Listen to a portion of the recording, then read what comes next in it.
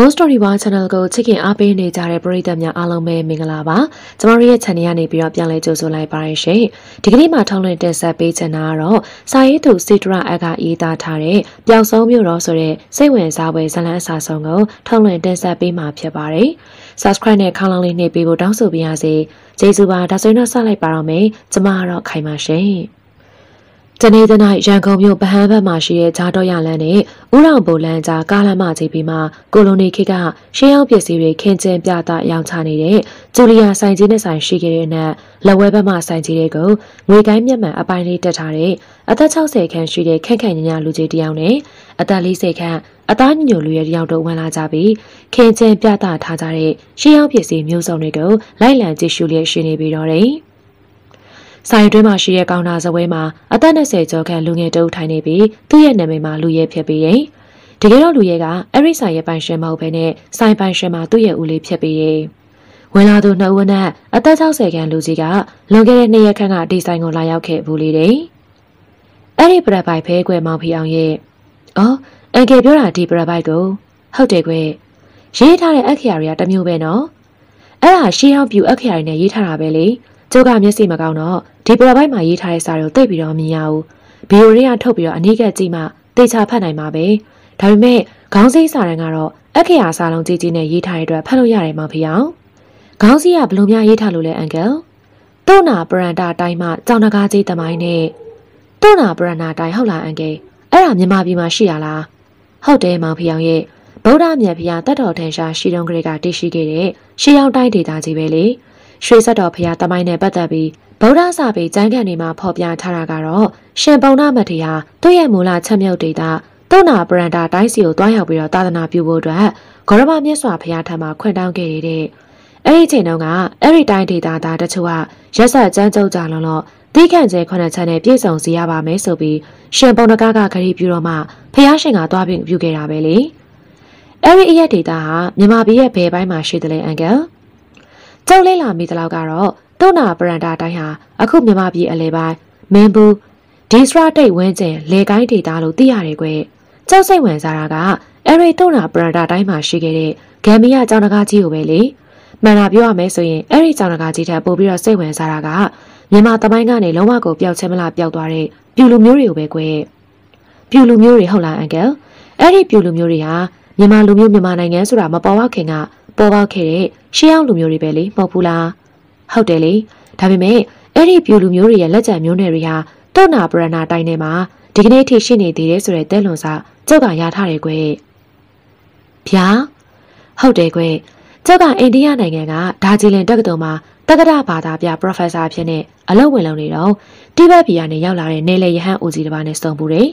သူကတက္ကသိုလ်ဘာသာနဲ့ရေးထိုးထားတဲ့ရှေးအောင်ပရပိုင်တစ်ခုမှပါတဲ့အကြောင်းအရာတွေကို ဆွေးနွေးလို့လို့ကြုတ်ကိုလာပြီးတော့တွေ့ရလေအဲ့ဒီရဟန်းဟာတိဘက်ကလာတယ်လို့ဆိုပေမဲ့တိဘက်လူမျိုးနဲ့မတူလို့ဘာလူမျိုးလဲလို့မေးကြည့်တော့သူကပြူလူမျိုးလို့မိတ်ခဲ့တယ်ကွဒီတော့မှကျုပ်ကတပည့်တော်ဟာမြန်မာလူမျိုးပါပြူဆိုတာရှေးဦးမြန်မာလူမျိုးတွေရဲ့အရှင်ဖျားနဲ့တပည့်တော်ဟာ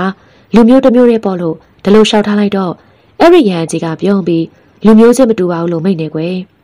ဘာလို့မတူရမှာလဲလို့ပြီးတော့မြန်မာဆိုတာပြူနဲ့ဆက်နွယ်နေပေမဲ့ပြူလူမျိုးစစ်မဟုတ်ဘူးလေ မြန်မာဆိုတာမဲစောလူမျိုးကနေစန့်တက်လာတာတဲ့သူကသာပြူလူမျိုးအစဲတဲ့သူ့ရဲ့စကားကိုတေချာရှင်းပြဖို့တောင်းပန်တော့မှပြူလူမျိုးစစ်တွေဟာမြန်မာပြည်တွေကတုတ်နာပရန်တာတိုင်းရဲ့လှုပ်ဝက်တဲ့နေရာတစ်ခုမှာအခုထက်ထိရှိနေသေးတယ်လို့မိန့်နေလေသူကအဲ့ဒီပြူလူမျိုးတွေရဲ့လှုပ်ဝက်ဒေသနေရာကလှုပ်ဝက်မြေအောင်လှိုင်ကောင်းနေရနေအဲ့ဒီကနေထွက်လာခဲ့တာလို့မိန့်နေဘလို့အကြောင်းကြောင့်ထွက်လာရတယ်ဆိုတာတော့ဖွင့်ပြောခွင့်မင်းတို့လည်းမရတော့ဘူးလေ အဲ့ဒီရဟန်းကြီးကပြူရရဲ့လှုပ်ဝက်ဒေသကနေထွက်ခွာလာတာနှစ်ပေါင်း80ကျော်ပြီးတဲ့အရာပဲမိတ်ပြီးတော့ပြန်ကျသွားတာပဲလေအလုံးအားတဲ့တနေ့မှာအဲ့ဒီရဟန်းကြီးနဲ့ထပ်တွေ့ကြလို့ကျုပ်ကသူ့တဲခွေရာမြမပုဒ္ဒရမြေကန္နာကတိဘက်ဘုံတော်ကြီးကျောင်းစီကိုလိုက်သွားတော့ဟိမွေနာတောင်တန်းကြီးပေါ်ကြွမြန်းသွားပြီလို့ပဲသိရတယ်ကွယ်အဲ့ဒီကလေးကအဲ့ဒီပြူရဟန်းကြီးကိုမတွေ့ရတော့တာပဲဒါပေမဲ့အဲ့ဒီရဟန်းကြီးမိန်သွားတဲ့မြမပြည်တွေကရှေးအောင်ဒေတာသူ့နန္ဒာပရဏာတိုင်းကြီးရဲ့တနေရာမှာ ရှေးအောင်ပြူလူမျိုးစစ်တွေအခုထက်တည်းလျှို့ဝှက်စွာနေခဲ့တဲ့ဆိုတဲ့စကားကျုပ်ရဲ့စိတ်ထဲမှာမေ့မရအောင်ဖြစ်နေတယ်ကွယ်အဲ့ဒါလွန်ခဲ့တဲ့9နှစ်လောက်တုန်းကပါပဲကျုပ်ကလည်းဒါကြီးလင်တက္ကသိုလ်ကနေအလုပ်ထွက်မြန်မာပြည်ကိုပြန်ရောက်လာတော့ဘာသာပြန်အသင်းကြီးမှာသုံးလင်းနဲ့အမှုထမ်းပြီးအလုပ်ကနေအပြီးပိုင်အနားယူခဲ့တယ်လေဒါကတော့မောင်ဖျောင်းလည်းအသိပါပဲအဲ့လိုအလုပ်ကနေအပြီးပိုင်အနားယူခဲ့ပြီးမြဲကျုပ်ရဲ့ရင်ထဲမှာရှေးအောင်ပြူလူမျိုးတွေရဲ့လျှို့ဝှက်ဒေတာကိုရှာဖွေခြင်းနဲ့စိတ်ကတနေ့တခြားပြင်းထန်လာတာပဲလေဒါနဲ့အရင်က တုနာပရဏာတိုင်းလို့တည်ထားတဲ့မင်းဘူးတို့ဆလင်းတို့ဒေတာတွေမှာသုံးလေးလလောက်သွားပြီးတော့စုံစမ်းလေ့လာသေးတာပဲဒါပေမဲ့အဲ့ဒီပြူတွေရဲ့တရင်စားနာတော့မရခဲ့ပါဘူးကွယ်ဒီလိုနဲ့ရန်ကုန်ပြည်ရောက်ရန်ကုန်တက္ကသိုလ်စာကြည့်တိုင်းမှာစာကြည့်တိုင်းမှုဖြစ်တဲ့ဦးသိန်းဟန်ကိုအကူအညီတောင်းပြူတွေနဲ့ပတ်သက်တဲ့ရှေးအောင်စာပေပရပိုက်တွေမှွေနောက်ပြီးတော့လေ့လာခဲ့တဲ့ကွယ်ဦးသိန်းဟန်ဆိုတာကြပြဆရာစောကြီးလေဦးသိန်းဟန်ရဲ့အကူအညီကြောင့်ရှေးပြူတွေနဲ့ပတ်သက်တဲ့ထိုးခြားလာတဲ့ပေစာရက်တွေကိုတွေ့ခဲ့ရတာပဲကွယ်အဲ့ဒီပေစာတွေမှာတုနာပရဏာတိုင်းက ပြူတွေနဲ့ဆက်နွယ်နေတဲ့နာရဒနဂါမင်းဟာတုနာပရဏာတိုင်းရဲ့တနေရာမှာကြောက်ရွံ့ကြီးဖြစ်သွားတယ်လို့ရေးထိုးထားတယ်လေအဲ့ဒီကြောင်နဂါကြီးကကျုပ်တို့ဗဒကဘာရဲ့နောက်ဆုံးဖျားရှင်အရိမတိယဖျားပွင့်တော်မူတဲ့ခါကျမှအသက်ပြန်ဝင်ပြီးနဂါးတွင်ကိုပြန်ရောက်ဖျားရှင်ကိုဖူးမြောဖျားရှင်ရဲ့တရားဒေသနာတွေကိုနာယူကြွတန်းဝင်မယ်လို့ရေးထိုးထားတယ်ကွယ်ထိုစဉ်မှာပရိုဖက်ဆာကြီးကကောင်နာစပွဲစီရှောင်းလန်းသွားပြီးလူရဲနဲ့သူ့ကိုယ်သူမိတ်ဆက်လေတော့တယ်။ကျုပ်ကပရိုဖက်ဆာဒေါက်တာညွှန်လိုက်မှာ ဟော်ရီဗီဒီယိုလေးတွေကကြေးပရပိုက်ကိုတေချာကြည့်ကြပါတယ်။ဟုတ်ကဲ့ပါဆရာကြီးကျွန်တော်ကလူရဲပါလောလောဆယ်ဒီဇိုင်းရဲ့တာဝန်ခံလို့ပဲဆိုပါတော့စောစောကဆရာကြီးတို့ပြောနေတဲ့စကားတွေကိုကျွန်တော်ကြားပြီးပါပြီ။ရှေးအောင်ပြူလူမျိုးအစ်စ်တွေဒီကနေ့ထက်တည်းမြမပြည်ထဲမှာရှိနေသေးတယ်ဆိုတာကျွန်တော်စိတ်ဝင်စားစရာပါပဲ။ဒါကြောင့်ဆရာကြီးကြည့်ကျင်တဲ့ကြေးပရပိုက်ချက်ကိုကျွန်တော်ထုတ်ပေးပါမယ်။ဒီဇိုင်းရဲ့ထုံးစံရတော့ဗီဒီယိုထဲတောက်ခတ်ပြီးပြသထားတဲ့အဖိုးတန်ရှားပါပစ္စည်းတွေထုတ်ပြလေးမရှိပါဘူးလေ။ဝယ်ဖို့ဈေးညစ်ပြီးတော့မှပြသလေးရှိပါတယ်ဆရာကြီး။ อืมဒီပရပိုက်ကိုရေးထုတ်ထားတဲ့သူဟာပြူလူမျိုးရဲ့တေကြီးတစ်ပါးပဲကွ။ရှေးအောင်ပြူအခရာဖြစ်တဲ့ကရံပါအခရာတွေနဲ့ရေးထားတာပဲရတေကြီးရဲ့ဘွဲ့နာမည်ကအာသဇီးတဲ့ရတေကြီးအာသဇီးကလျှို့ဝှက်ပြူမျိုးတော့အသင်ရာရဲ့ဦးစိနိုင်ကတအုပ်လို့ဆိုတဲ့သူရေးထားတာကတော့တရေခက်တရာမျိုးတော်ကြီးတို့ဝင်တာလရစ်စစ်တီတွေတိုက်ခိုက်ဖျက်ဆီးခံရတဲ့ချိန်မှာ ဒုရပောင်မဲနဲ့ပန်ထရာဘရင်မတို့ကနေစမ်းတက်လာတဲ့ဆွေတော်မျိုးတော်တစုကပြည်သူပြည်သားတချို့ကိုဦးဆောင်အေယာရီမြေကြောင်းတိုင်းစန်တာတိတ်ဆောင်ခဲ့ရတဲ့။อืมအဲ့ဒီချိန်ဟာအေဒီ900ဆိုအစာပိုင်းလောက်ပေါ့လေ။တရေခက်တရာမင်းဆက်28ဆန်းမြောက်ဖြစ်တဲ့သူ့ပညာမင်းလက်ထက်မှာတရေခက်တရာပြည်ကြီးပြတ်သုံးခဲ့တာပါပဲ။ရသေးကြီးအတန်စီဆက်ရေးထားတာကသူ့ရဲ့ဘိုးဘေးပြည်ပင်ပြိုမျိုးတွေဆိုရရာဂန္ဓာလရစ်စစ်တီတွေရဲ့ရန်ရောတရေခက်တရာပြတ်သုံးပြီးတော့73နှစ်ကြာမှာ ရုံလွတ်ကျုံအရက်ကနေစတင်ပေါ်ထွန်းလာခဲ့တဲ့သမုတ်တရမင်းရဲ့ပောက်ကံရာမှာပကံမဲဆက်တွေရဲ့ရန်ကနေလုံရအောင်လို့တုံနာပရဏာတိုင်းရဲ့လူသူအရာပေါက်လုံးဝမရှိတဲ့တောနဲ့တောင်နဲ့ကြီးထဲမှာပုံအောင်တန်တရာဆိုတဲ့ပြူလျှို့ဝက်မြို့တော်ကြီးကိုတီထောင်ခဲ့ကြတဲ့ကြောင်းအဲဒီလိုနှစ်ပေါင်း900လောက်ကမ္ဘာလောကကြီးတစ်ခုလုံးနဲ့အဆက်ဆက်ဖြတ်ပြီးဆွေစင်မျိုးဆက်နေထိုင်လာခဲ့ကြရကနေရတေကြီးအာသာစီတို့လက်ထက်ကိုရောက်တဲ့ခါကျမှ ရတေကြီးကသူတို့ပြူလိုမျိုးလျှို့ဝက်မြို့တော်ဟောင်းကြီးကနေဖြစ်ပေါ်လာတဲ့ကယောဂါဘေးအတွက်တောတောင်နယ်ထဲမှာစေးမြဲစေးဥရှာဖို့အဲ့လိုလိုအပ်လာတာနဲ့သူတို့ရဲ့သုံးတဲ့တူလျှို့ဝှက်မြေအောင်ဂူလိုင်းနေတိုင်းလျှို့ဝှက်ပြူမြို့တော်ကြီးကနေထွက်ခွာလာခဲ့ကြရတယ်လေကျွန်တော်နဲ့တောင်းတဲ့တောင်တဲ့ထဲစေးမြဲစေးကိုရှာကြရင်ကနေမောရဝရီမြေကန်းဆန်အောင်ရောက်သွားကြရတဲ့อืมမောရဝရီမြေဆိုတာအခုခေတ်မှာတော့မြစ်တာမြေလို့ခေါ်တဲ့မြစ်ဖဲပေါ့တမနက်စောစောမှာတော့ အဲ့ဒီမောရဝရီမြေကန်းကြီးအရောက်မှာတကားတဲ့တယောက်ချထောင်ထားတဲ့မြုံထဲမှာငကားတကောင်မိနေတာကိုတွေ့ရတော့တာပဲလေဒါနဲ့အဲ့ဒီငကားကိုမြုံထဲကနေခက်ခက်ခဲခဲထုတ်ပြီးတော့မြစ်ထဲကိုပြန်လို့ကဲတင်ပေးလိုက်တယ်တဲ့အိမ်နေညမှာပဲနဂါမင်းသားကရသေးကြီးကိုအိမ်မက်ပြီးတယ်သူဟာမောရဝရီမြေရဲ့အောက်မှာရှိတဲ့ဘောဂတေနာနဂါပြည်ကနေလူရက်ရွာစီထွက်လာခဲ့တဲ့သူဖြစ်ကြောင်း သူနဂါပြည်ကနေထွက်လာတဲ့ရည်ရွယ်ချက်ကတော့နဂါတို့မြေတီကမာစိတ်ထိရှိပေမဲ့အဟိတရိတ်ဆန်တာဖြစ်တာမလို့အဲ့ဒီဘဝနေလွတ်မြောက်ချင်တဲ့အတွက်တန်တရာကလွတ်နိုင်တဲ့တရားကိုရှာဖို့ရည်ရွယ်ကြောင်းအဲ့လိုလူရက်လူရစီရောက်မှာပဲတန်ဃာတဲ့ရဲ့မြုံထဲမှာအမိခံခဲ့ရကြောင်းရသေးကြီးတို့ကသူ့အသက်ကိုကယ်တင်ခဲ့တဲ့အတွက်ကျေးဇူးများစွာတင်ကြောင်းကျေးဇူးဆက်ခွင့်ကြုံတဲ့အခါမှာကျေးဇူးပြန်ဆက်ခွင့်ပြုစေလိုကြောင်းအိမ်မက်တွေပေးခဲ့ရတဲ့ရသေးကြီးတို့ကလည်းမောရပရိမြစ်ကိုဝါဖောင်နေဖြတ်ကူ ဆဲမြင့်ဆေးဦးဆက်ရှာရကနေသူနဲ့တူပါလာတဲ့တပည့်သုံးယောက်ကလျှို့ဝှက်ပြူမျိုးတော်ကနေကန့်ညိပါလာတဲ့ယောဂပိုးတွေကြောင့်ရှေးဆန်နောက်ဆန်ဆိုသလိုတောထဲမှာပဲတိတ်ဆုံးကုန်ကြတော့တဲ့လေရသေးကြီးကိုယ်တိုင်ကလည်းယောဂဆွဲကပ်နေတဲ့အရေးလက္ခဏာတွေပြလာတာကြောင့်၆တစ်၆ရဲ့ကန်းဆန်တာကကြောက်လန့်ကူထဲမှာနားနေခဲ့တဲ့အဲလိုနားနေရင်နဲ့ဒေကျေးပရပိုင်မှတ်တမ်းကိုရေးသားရတာပါတယ်လေရသေးကြီးဟာတနေ့တခြားယောဂဝေဒနာတိုးတဲ့တိုးလာပေမဲ့ဝိညာဉ်ခန္ဓာမစဲနိုင်သေးဘူးတဲ့ အဲ့ဒီချိန်တညမှာတော့ငကားမင်းသားနာရတာကအိမ်မက်ပေးပြန်နေတဲ့သူဟာကမာစိတ်တီတကူနဲ့လူသားတွင်ဖန်ဆင်းမောရဝရီမြေကန်ကနေတက်လူရက်လူရွာထဲမှာတရားဆက်တရားမှန်ညှို့ပြနိုင်မဲ့ပုံကိုရှာဖွေခဲ့ရကဗုဒ္ဓရဲ့သားတော်ရဟန်းတစ်ပါးနဲ့စုံရတဲ့အဲ့ဒီယဟန်ဟာဗုဒ္ဓဘာသာထွန်းကားစာပြုနေတဲ့တမ္ပဝတီလို့ခေါ်တဲ့နဲ့ပေါက်ကံရာမတိုင်းကကြွလာတဲ့ရှင်ရဟန်းမထေရမြတ်ကြီးရဲ့တပည့်ယဟန်ပါပဲလေ အဲ့ဒီယဟန်စီကနေဗုဒ္ဓဘာသာရဲ့အကြောင်းဗုဒ္ဓဝင်တဲ့တရားဒေသနာတော်တွေကြားနာခွင့်ရခဲ့တဲ့အခါနဂါမင်းသားလေးနာရတာကတရဏဂုံတိဆောက်ပြီးဖျားရှင်ကိုကိုယ်တိုင်ဖူးတွေ့လိုတဲ့ဆန္ဒရင်မပြင်းပြင်းထန်ထန်ဖြစ်ပေါ်လာရတဲ့တဲ့ဒါကြောင့်နဂါမင်းသားလေးနာရတာဟာတရားဓမ္မကြင်ကြံနေရင်ကနေအဋိဌံပြုဆူတောင်းနေတဲ့မြတ်ဗုဒ္ဓတို့ရဲ့သာသနာကိုသူဟာအမှန်တကယ်ယုံကြည်ကိုးကွယ်ပါကြောင်းနဲ့ သူ့ရဲ့အရိသက်စာစကားမှန်ကန်မှာကနောင်ပွင့်လာမယ်အရိမတ္တရဖျားစွာဖျားကိုကိုယ်တိုင်ဖူးရသူဖြစ်ပါစေလို့ဆူတောင်းတိတ်ထံပြုခဲ့တယ်လေသူ့ရဲ့သက်စာစကားမှန်ကန်ပြီးအဋိဌံအောင်မဲဆိုပါကသူ့ရဲ့ခန္ဓာဟာကြောက်ရွံ့သွင်ပြောင်းပြီးအရိမတ္တရမြတ်စွာဘုရားပွင့်တဲ့အထိအနောက်ရှက်ကင်းကင်းနဲ့တည်ပါစေလို့အဋိဌံပြုလိုက်တဲ့တဲ့သူအဲ့လိုအဋိဌံပြရနဲ့သူ့ရဲ့အမိပိုင်းကစားပြီးကြောက်ရွံ့ဖြစ်လာနေပြီမလို့မကြခင်မှာသူ့ရဲ့တကူလုံးဟာကြောက်ရွံ့သွင်ကိုဖြစ်ရတော့မယ် အဲ့လိုသူကြောက်ရွံ့ဖြစ်ခင်သူ့ရဲ့အကြောင်းရသေးကြီးသိနိုင်စေဖို့အိမ်မက်ပေးရတာပါတယ်ဘာလို့လဲဆိုတော့သူ့ရဲ့အသက်ကယ်ခဲ့တဲ့ရသေးကြီးကိုကျေးဇူးပြန်ဆက်ပါမယ်လို့သူကတိပေးခဲ့ကြောင်းသူလုံးဝအုတ်တုံကြောက်ရွံ့ဖြစ်သွားပြီဆိုရင်ရတေကြီးရဲ့ကျေးဇူးကိုဆက်ဖြစ်မှာမဟုတ်တဲ့အတွက်အကျိုးကြောင့်ရှင်းပြတောင်းပန်ကြတာကြောင့်အိမ်မက်ပေးရတာဖြစ်ကြောင်း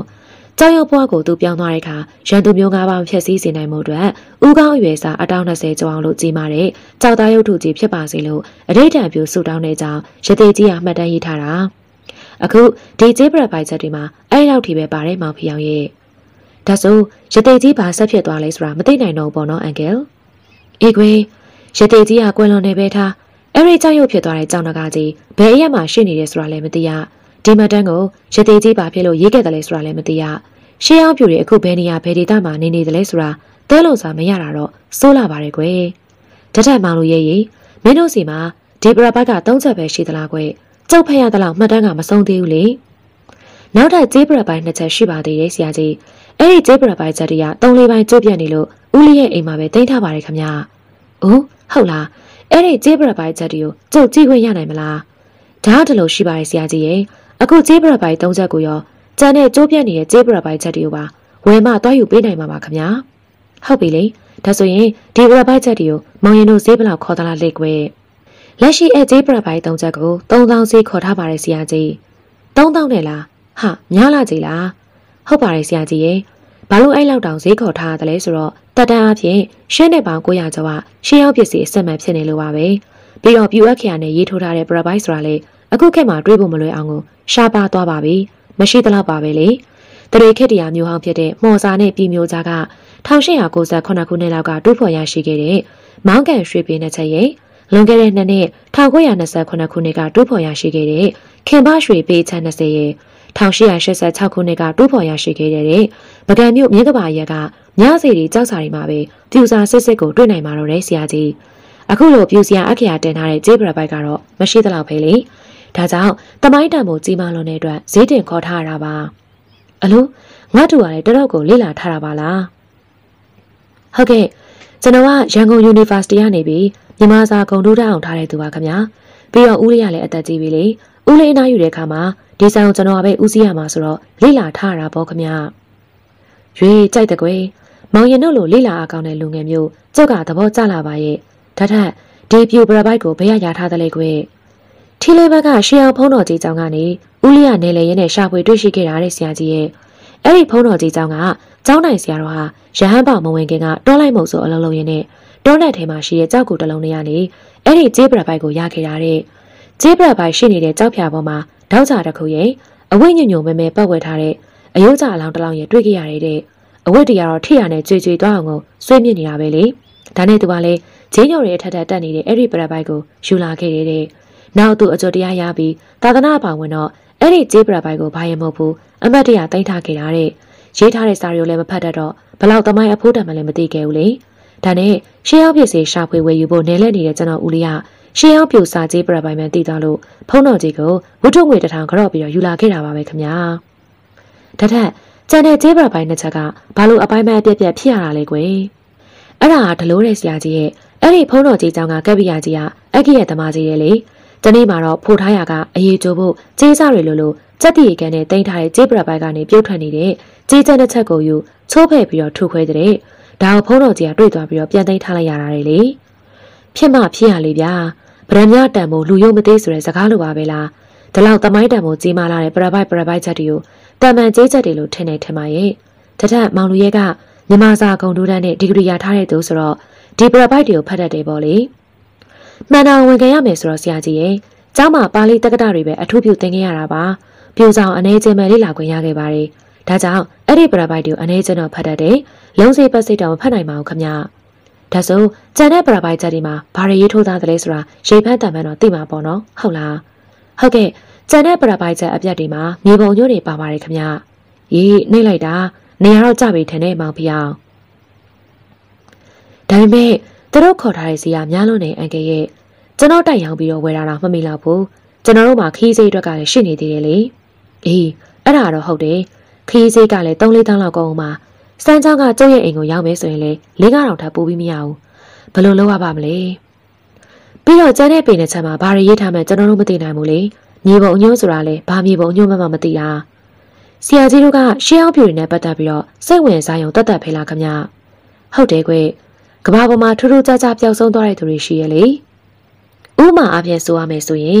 ကမ္ဘာနောက်ခြမ်းမှာရှိတဲ့အတ္တလန်တိတ်သမုတ်တရားတွေကအတ္တလန်တိတ်ကျွန်းနိုင်ငံကြီးဟာမြင်းကလေးအပြင်းထန်လှုပ်ရကနေ သမုတ်တရားတွေကိုနှိမ့်ဝင်ပြီးတော့ပျောက်ဆုံးသွားတယ်လို့တမိုင်းပညာရှင်အများအပြားကယူဆထားကြတာလေ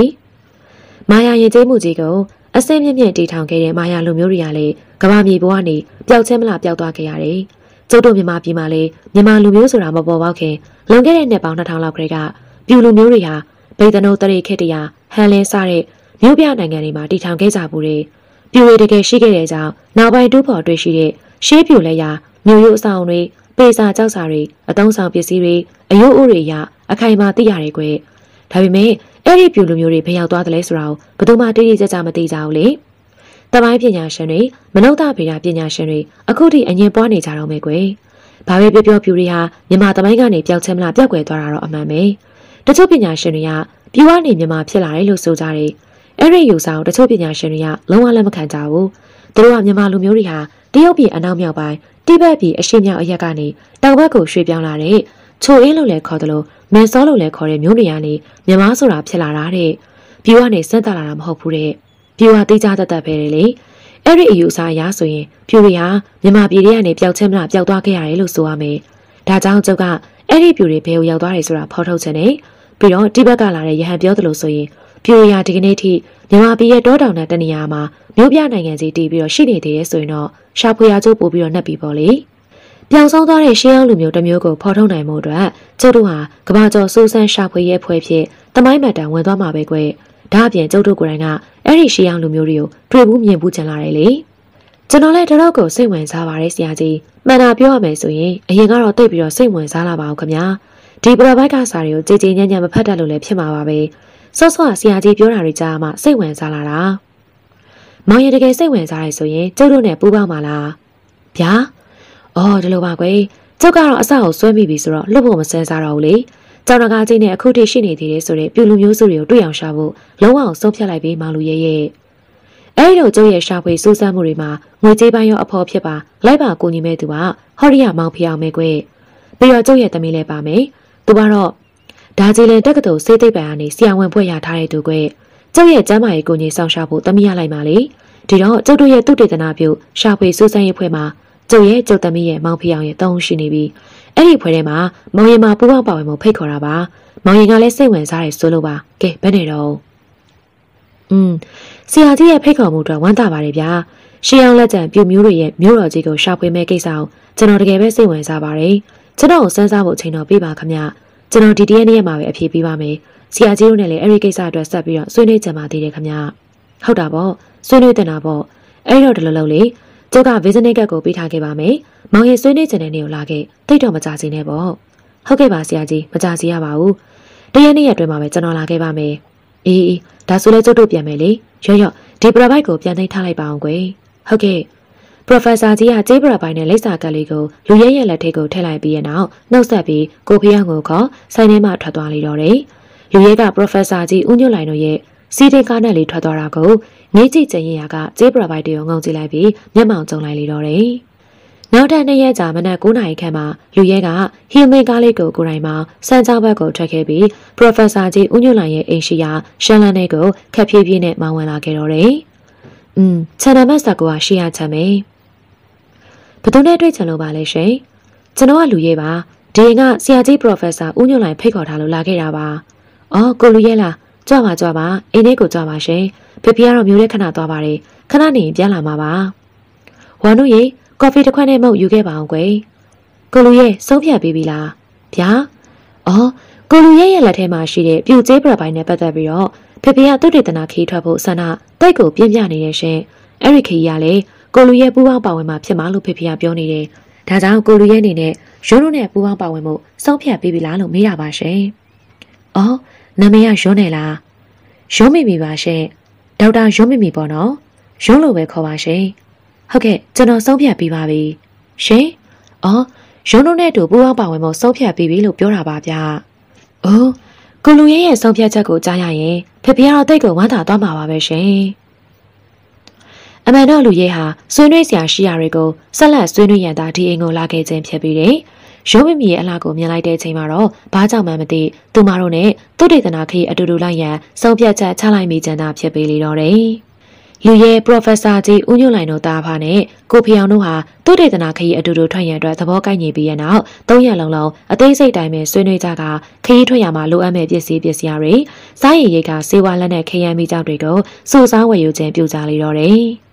ခီးစဉ်တွင်မှာ Professor ကြီးဦးညွန့်လိုင်ကကြည့်ရှုရန်လိုအပ်မှ provide တွေကိုအပိုင်းပြတ်တွေကိုခက်တာထုတ်ပေးလေးရှိပေတယ်။လက်နက်ဖြစ်ကိုဖျောင်ကလိုက်စင်နဲ့ကင်ဆောင်တဲ့လူကာပစ္စတိုတလက်ကိုယူလာပြီး Professor ကြီးနဲ့လူရဲတို့အတွက်အမဲပြရိုင်ဖယ်တလက်စီနဲ့ဂျီရီယိုပါတာဝန်ယူပြီးတော့ဖြည့်ဆည်းပေးလေတယ်။ဒီလိုနဲ့ဆွေးနွေးဆရာရှိရာတွေကိုဆွေးနွေးဝယ်ချမ်းဆရာရှိရာတွေကိုဝယ်ချမ်းစီစဉ်ဆရာရှိရာတွေကိုစီစဉ်ပြီးရနောက်ခရီးစတင်ထွက်ကြလေတော့တယ်။ ကျုပ်ကအိန္ဒိယနိုင်ငံကဒါဂျီလန်တက္ကသိုလ်မှာမဟာပွဲအတွက်တင်တန်းတော့တက်ရင်နဲ့လက်ထောက်နေပြဖြစ်နေအလုံးဝင်လုံးနေတော့မှာ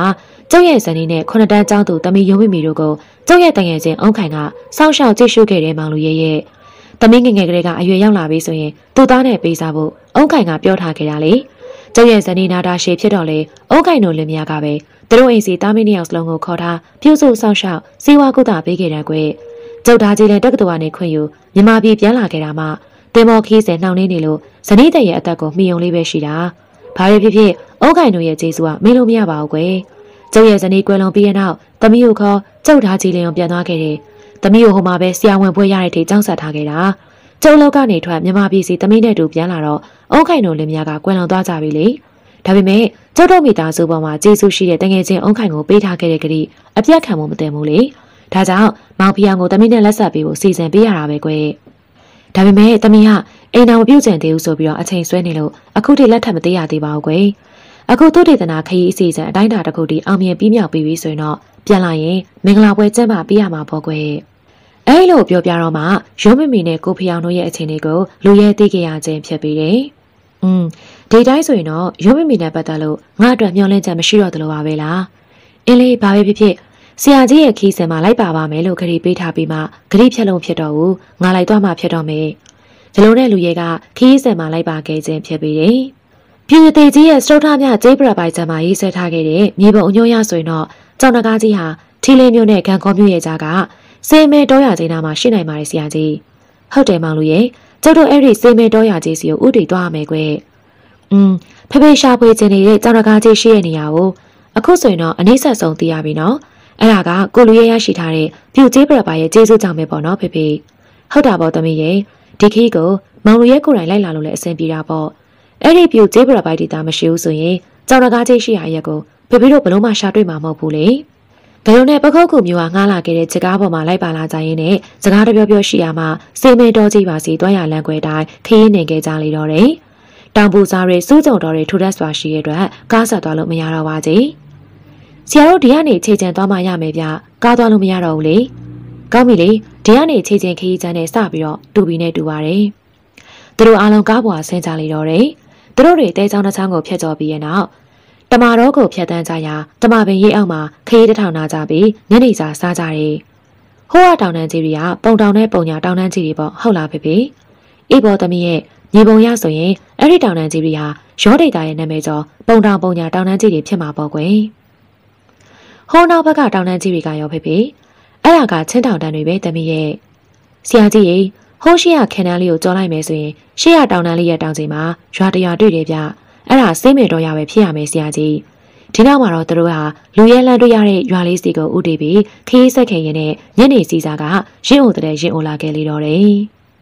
လူရဲတို့ဟာခင်နန်းတစ်ခုကိုကြော်ဖြတ်ပြီးတော့ရိုးပြက်လေခင်းတွေကိုအတန်ကြာဖြတ်လာပြီးရဲ့နောက်မှာတော့တောင်တန်းငယ်တစ်ခုကိုနောက်ခံပြူထားတဲ့ရွာတရွာနေကိုရောက်ရှိသွားလေတော့တယ်။ အဲ့ဒီချိန်မှာအမောင်တို့ကဖုံးလန်းလာပြီးဟေမန်ဥရာတီဖြစ်တဲ့အတွက်အေးစိမ့်စိမ့်ဖြစ်လာတော့တယ်။သူတို့ရွာလေလမ်းမှာဝင်ရောက်လာချိန်မှာတိတ်ဆိတ်နေတဲ့တဲအိမ်တက်သားအိမ်လေးတွေကနေမီးလင်းရောင်တချို့ကဖျားထွက်လျက်ရှိနေပြီးတော့တယ်။နောင်ကြီးနောင်ကြီးဒီရွာကစေးမင်တော်ရွာလားခမ။အမောင်တို့ကဘသူတွေလဲဧည့်သည်တွေလားဟုတ်ပါတယ်ဗျာဒီရွာစေးမင်တော်ရွာလားခမဟုတ်တယ်ဒါစေးမင်တော်ရွာပါပဲဘသူအိမ်ကိုလာတာလဲ အဲဟိုရွာရွာလူကြီးအိမ်သွားကြလို့ပါနောင်ကြီးရဲ့လက်ညွန်ပေးပါလားဗျာ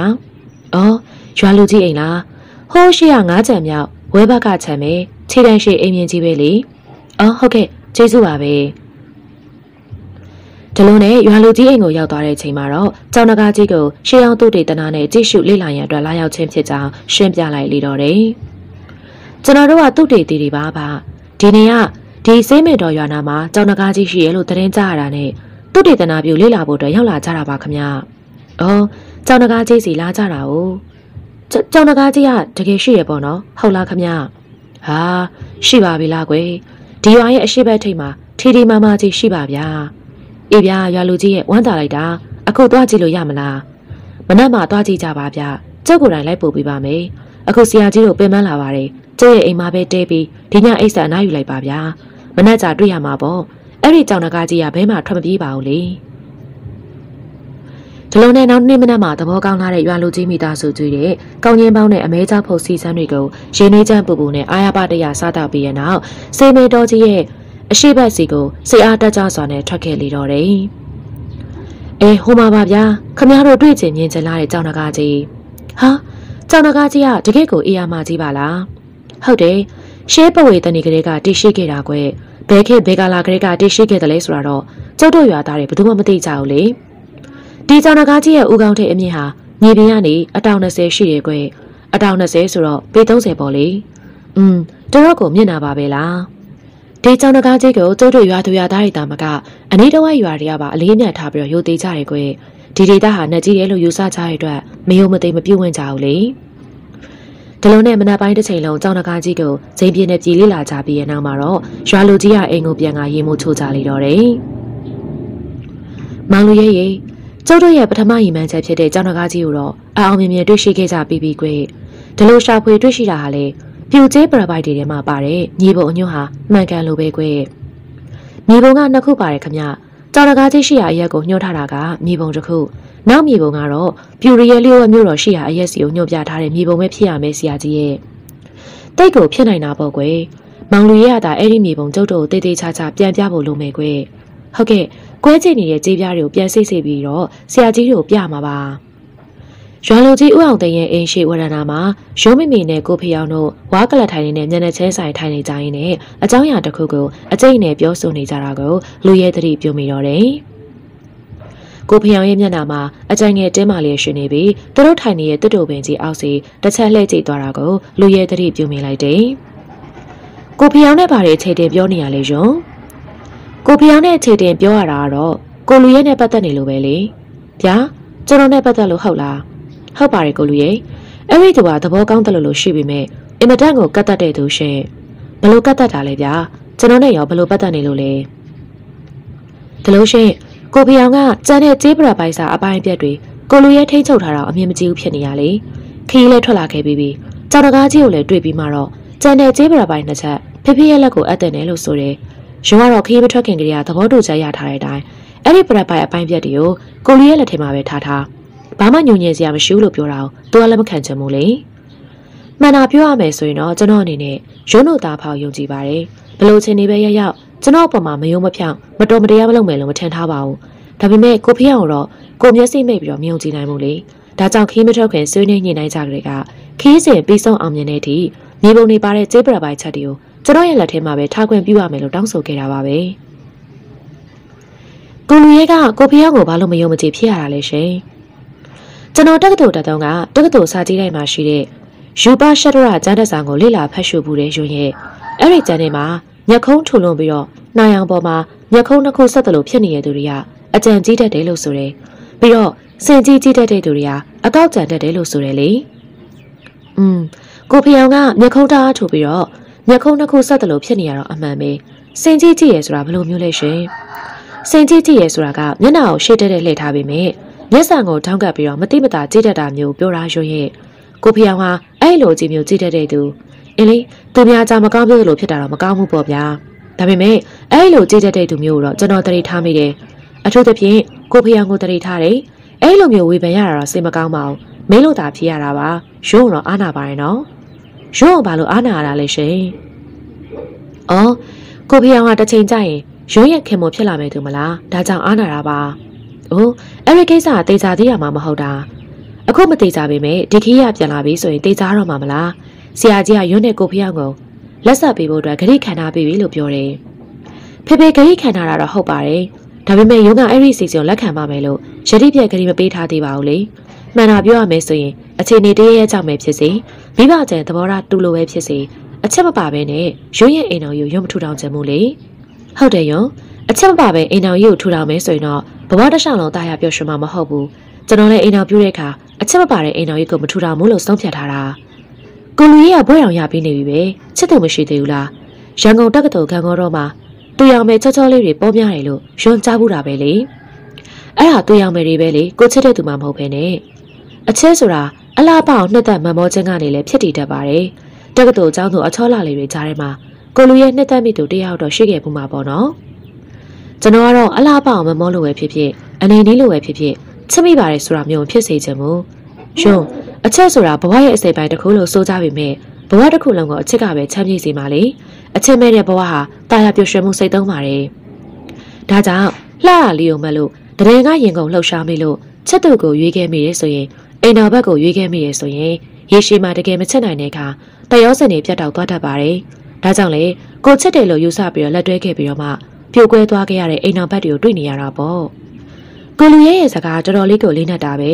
ရုပ်ဝတ္ထုပစ္စည်းကိုမမောလို့ဖြစ်ဖြစ်အလားပေါအောင်မြင်နှိုးမိလို့ဖြစ်ဖြစ်အနေနေပြီးတော့ရင်ခုန်လှုပ်ရှားမိလို့ပဲဖြစ်ဖြစ်ချက်သူအိမ်နောက်ဘက်ကိုရွေးချယ်ဖို့မသိတော့ဘူးဆိုရင်ဘလို့ချင်းနေဘလို့ဟာမျိုးမှမှရွေးချယ်တင်တာလဲရှင်။음ကျွန်တော်ရဲ့အယူအဆကိုပြောရမယ်ဆိုရင်ကိုတကယ်ကြိုက်နေတတ်ပြီးတော့တကယ်ချက်တဲ့သူပဲရွေးချယ်တင်တယ်။ဒါမှအဲ့ဒီချက်ဟာဘဝတစ်ခုလုံးကိုချမ်းမြေ့စေမယ်။အိမ်တော်ကြီးလည်းခိုင်မြဲစေမယ်လေ။음 မှန်တာပြောရမယ်ဆိုရင်ယွန်းအိမ်လောက်ထိတွေးမထားမိဘူး။နည်းနည်းထပ်ပြီးတော့ရှင်းပြပေးပါအောင်လား။ဒီလိုပါယွန်းရဲ့ချစ်သူအိမ်အောင်ပဲရွေးတဲ့အခါမှာ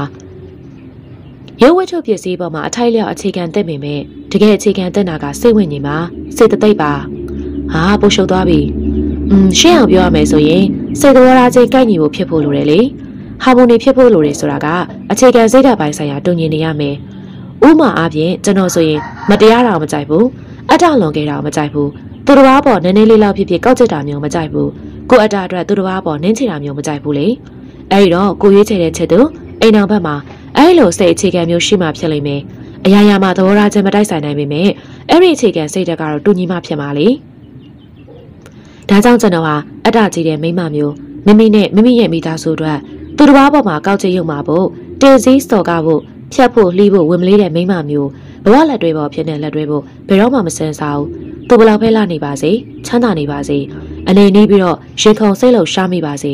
ကိုကတော့ရအောင်ရှားအောင်ပါပဲလေ။อืมအဲ့ဒါတော့ရွံးလဲလက်ခံပါတယ်ဒါပေမဲ့အတ္တကြီးတဲ့ဇနီးမောင်နှံတွေမောက်မာတဲ့လင်မယားတွေသူတစ်ပါးပေါ်ကြောရမှကျင်းတဲ့ဇုံနှက်တွေလည်းရှိရဲ့နော်ဟုတ်တယ်လေအဲ့ဒါသူတို့ချင်းစိတ်တော်ထားကိုက်နေလို့ဟာမိုနီဖြစ်နေလို့ပေါ်ယွန်းရဲ့ကျွန်တော်လိုလူမျိုးနဲ့ဆိုရင်တော့ဖြစ်မှာမဟုတ်ဘူးလေဟုတ်ပြီဟုတ်ပြီကိုလူရဲ့ပြောတာကိုရွံ့တော်တော်လေးသဘောပေါက်နေပြီ ချုပ်ပြီးတော့ပြောရမယ်ဆိုရင်အတ္တကြီးသူဖြစ်ဖြစ်အတ္တနေသူဖြစ်ဖြစ်ကိုယ်နဲ့သဘောထားကိုက်နေပြီးတော့ဟာမိုနီဖြစ်နေဖို့လိုတယ်ပေါ့နော်ဟုတ်လားဟုတ်တယ်ယွန်းအဲ့လိုပဲကျွန်တော်ကတော့ယူဆတယ်ဒါကြောင့်ရှေးတုန်းကအိမ်တော်ဘက်ရွေးချယ်ဖို့သုံးနဲ့သုံးဖို့တုံးနဲ့တုံးလေ့လာရဲဆိုတာမိမိနဲ့ဘလောက်တောင်စေသဘောထားကိုက်နေတယ်လေသူနဲ့အချင်းစရိုက်ဇာရိတာတွေကိုမိမိလက်ခံနိုင်မှာမလားဒါတွေကိုစောင့်ကြည့်ရတာပဲလေတကယ်တော့တုံးနဲ့တုံးစေသဘောထားကိုက်နေပြီးတော့ဟာမိုနီလည်းဖြစ်မယ်ကိုလည်းတကယ်ချစ်မယ်ဆိုမှ ချစ်သူဖြစ်အိမ်တော်ဘက်ဖြစ်နေရွေးချယ်တာအကောင်းဆုံးပဲလေဟုတ်ပါပြီဟုတ်ပါပြီရုံးတဘောပေါက်ပါပြီအချစ်အပိတန်ဆရာကြီးရဲ့ရုံးမမီယာရေရေမမော်လေးပြောဆိုလိုက်စမ်းပါပဲပရိုဖက်ဆာကြီးဦးညွန့်လိုင်ကခြံနာပိုင်းမှာလှမ်းလျှောက်လာတဲ့အတွက်စကားစာပြတ်သွားလေတော့တယ်။ကြောင်တကားကြီးကိုတွေ့ရှိပြီးကလေးကပရိုဖက်ဆာကြီးဦးညွန့်လိုင်ကလွန်စွာဆရာတက်ကြွလဲရှိနေတော့တယ်။အဲ့ဒီနေ့လေ9နာရီခွဲခန့်မှာ ရွာလူကြီးဦးအောင်တရင်အိမ်မှာလူရှင်းတဲ့ခိုက်လူရဲပရိုဖက်ဆာကြီးရုံးမိမိနဲ့ကိုဖီအောင်တို့အေကမ်းမကြီးရဲ့ကျမ်းမြင့်ပေါ်စတုထားမြောင်းနဲ့ပြင်စမမြောက်ကျေးပရပိုင်အပိုင်းပြက်တွေကိုချခင်းဆက်ဆက်ပြီးလေးဦးသားကောင်းချင်းဆိုင်မြေပုံညွန့်ကိုဆွေးနွေးလျက်ရှိကြတော့တယ်။ဒီစတုထားမြောက်ပရပိုင်ချက်မှာတော့ကြောင်နကားကြီးတည်ရှိအောင်ညွှန်ပြနေတဲ့မြေပုံနဲ့ရသေးကြီးအသစီရဲ့နောက်ဆုံးနေကုံချုံမှတ်ချက်တွေပဲရေးထိုးထားတယ်ကွယ်။ဟော်ရီပြင်စမမောက်ပရပိုင်ချက်မှာတော့ပြူရှိအောင်မျိုးတော်စီသွားရ လျှို့ဝှက်အွန်လိုင်းလမ်းတွေကိုမြေပုံတွေရေးစစ်ထားတာဖြစ်တယ်ကွယ်။အဲ့ဒီစကဝက်လင်ကောင်ဘာသာပြန်ပြပါအောင်အကယ်อืมဒလို့ကွက်မောင်ဖီအောင်ရဲ့သူ့ရဲ့စာသားတွေကအမောင်နာကရှုကြည့်ရာထန်းသုံးပြဖိုးခုံလုံးလောက်ကတေစာချောင်းဆက်မှာမျောပါဥပတကောတာရောက်ရသူ့အိမ်ဝဆွေးဆွေးနေစွာတဲ့စကဝက်လင်ကောင်တွေကြကအားလုံးကဝိုင်းပြီးတော့ငေးမောနေကြရတော့တယ်ဟာဘာရေးထားမှန်းလည်းမသိပါဘူးอืม ဒီစရုတ်ထပရပိုက်လင်ကောင်ရအောင်မဖော်နိုင်ဘူးဆိုရင်ရှေခေးဆက်လို့ရမှာမဟုတ်တော့ဘူးလေဖေဖေစန်းစားမိတာကတော့နာဂဆိုတာငကားဆိုလိုတာဖြစ်ရမယ်သမီးရဲ့ဒီတော့အမောင်နာကရှုကြည့်ရဆိုတာကငကားကြည့်တဲ့အရက်ကိုစိုးရဲနဲ့ဟန်နဲ့တူပါတယ်ငကားဟုတ်လားဖေဖေဘယ်ငကားများလဲဘယ်ငကားရှိရမှာလဲသမီးရဲ့ဖေဖေတော့ခုရှာဖွေတွေ့ရှိထားတဲ့ကြောင်ငကားကြီးပဲဖြစ်မှာပေါ့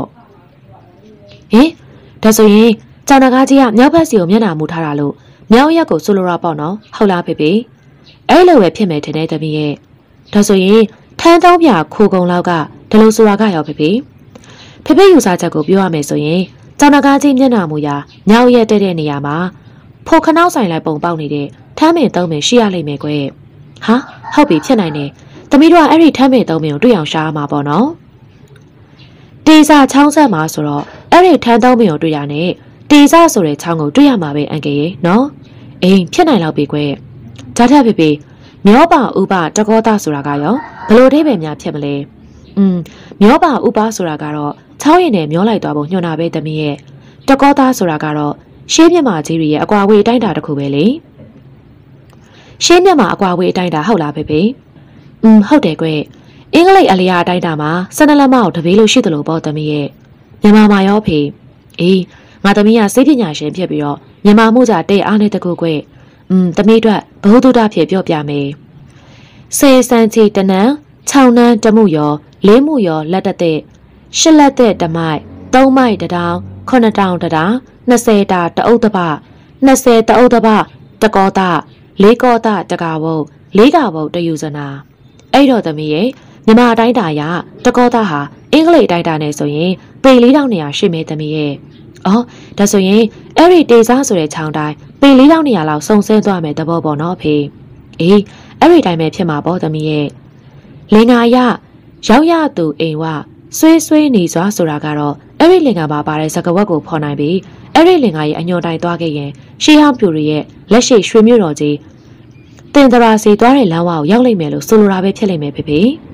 ဟုတ်တယ်သမီးဆွေးဆွေးနေဆိုတာကတော့အဲ့ဒီလမ်းဝကိုရောက်ရမှာ ဘာလို့ဆိုလိုတယ်လဲဆိုတာကြည့်ရမှာပဲသမီးရေတေစားဆိုတဲ့ချောင်းကိုရောတွေးရမလားဆရာကြီးอืมဒါကတော့ရွာလူကြီးကိုမေးရမှာပဲမောင်လူရဲ့ရဲ့သူတို့ကရွာကန်းဆိုတော့ဒီဒေတာရဲ့အကြောင်းသူတို့သိဆုံးဖြစ်မှာပဲလေဘာပဲဖြစ်ဖြစ်ပါဒီကျေးပရပိုက်တွေကဝက်စာတွေကိုဖော်လို့ရပြီဆိုတော့နေဟာကြပြီပေါ့အန်ကယ်ရဲ့ဒါပေါ့ကွယ်အဲ့လိုပဲဖြစ်ရမှာပေါ့မောင်ဖေအောင်ရဲ့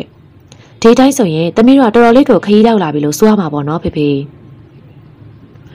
ဒီလိုနဲ့အားလုံးစိတ်တက်ကြွသွားတဲ့ရှင်နေတော့တယ်ရန်လူကြီးပြန်လာတဲ့ခါမှာတော့စိတ်တက်ကြငင်းငိုင်သွားကြပြန်တော့တယ်တေစာချောင်းဟုတ်လားဆရာကြီးတို့ကျောက်တို့ဒေတာတဝိုက်မှာတော့တေစာချောင်းဆိုတာလုံးဝမကြားဘူးပါဘူးဗျာချောင်းကြီးကြီးမမတွေဆိုရင်လေရောချောင်းကြောချောင်းတို့ပဲရှိတဲ့ဆရာကြီးရဲ့ချောင်းသေးချောင်းမတွေမှာဆိုရင်လေတောက်ကူးချောင်းကျိန်တလိန်ချောင်းမမဲစာချောင်းဒီလိုတွေပဲရှိတာအေးဗျာဒါထက်ကျောင်းတကားချင်းမျက်နှာမူထားတဲ့ဒီရွာရဲ့မြောက်ဖက်ဆူဆူရက်စီမှာထမ်းပင်သုံးပင် ဖိုခနောက်ဆိုင်ထားတဲ့ဟာရှိသလားအေးဒီဒေသမှာချမ်းပင်တွေထမ်းတော်တွေကအများသားဗျကျောက်တော့ရွာရဲ့မြောက်ဖက်ဆူဆူကပုံတောင်ပုံညာတောင်ကျောတွေကြားထဲမှာကုန်းကမှုရှုံမြောင်တောင်ကဘာတွေထူတတ်သလောက်ထမ်းပင်ထမ်းတော်တွေကလည်းလက်ညှိုးထိုးမလွဲဆိုတော့ဆရာကြီးပြောတဲ့ထန်းသုံးပင်ဖိုခနောက်ဆိုင်ထားတဲ့ပုံရှိရမယ်ဆိုတာရှိနိုင်တာပါပဲလေသုံးပင်ဆိုင်မှာကလင်းကားပင်ဆိုင်လည်းရှိတာပါပဲအေးဗျာဘာပဲဖြစ်ဖြစ်ကျုပ်တို့သွားဆရာရှိရဲ့ခရီးကိုဆက်ပြီးတော့သွားကြရမယ်ဗျမနေ့ပြန်မနေ့မှပဲဒီရွာထပ်ကြမယ်လေ ကျုပ်တို့အစားစားအရာကိုညီခဲ့တဲ့ရွာလူကြီးနဲ့ဒီရွာရွာသူရွာသားတွေကိုကျေးဇူးတင်ပါတယ်ဗျာရပါတယ်ဗျာဆရာကြီးတို့ကကျုပ်တို့ဒေတာရဲ့တမိုင်းเจ้าတွေကို လေးလာသူ့တည်တနာပြုဖို့လာကြတာဆိုတော့ကျုပ်တို့ကလည်းဂုံယူပြီးဝမ်းမတ်တန်တာကိုကြီးကြတာပါပဲကျေးဇူးတင်မလို့ပါဘူးအေးဗျာခမရတို့ရောနေရလူတွေကစိတ်ထားဖြူစင်ကြပါပြီတဲ့ချေကျူးလေးစားပါတယ်ဗျာလေးစားပါတယ်ဒီလိုနဲ့နောက်နေ့မနက်စောစောမှာပဲလူရဲတို့လူစုဟာရွာရဲမြောက်ဖက်ဆူဆူအရက်ရှိကိုဥတီပြီးခရီးထွက်ခဲ့ကြလေတော့တယ် ရွာသူရွာသားတွေကကျုပ်တို့ကိုမြင်ပြီးတော့အိမ်ထဲဝင်ပြေးပုံနေကြတယ်ဟိုမှာတွေ့လားကဲလာကြကနေချောင်းကြည့်နေကြတယ်မောင်လူရဲရဲ့ဟုတ်တယ်ဆရာကြီးကျွန်တော်တို့ဒီရွာမှာတော့တဲလုံးဖြစ်တော့အောင်နော်လူရဲတို့ကအင်ဂျင်နေပြီးဖုံးတော်ကြီးကြောင်မရှိတဲ့ရွာငယ်လေးတွေမှာတဲခိုခြင်းပြုတော့ပဲနဲ့ဖုံးတော်ကြီးကြောင်ရှိတဲ့လူကြီးအတန်ငယ်များတဲ့ရွာတွေမှာသာညအိရနာတဲခိုရဆုံးဖြတ်ကြတော့လေ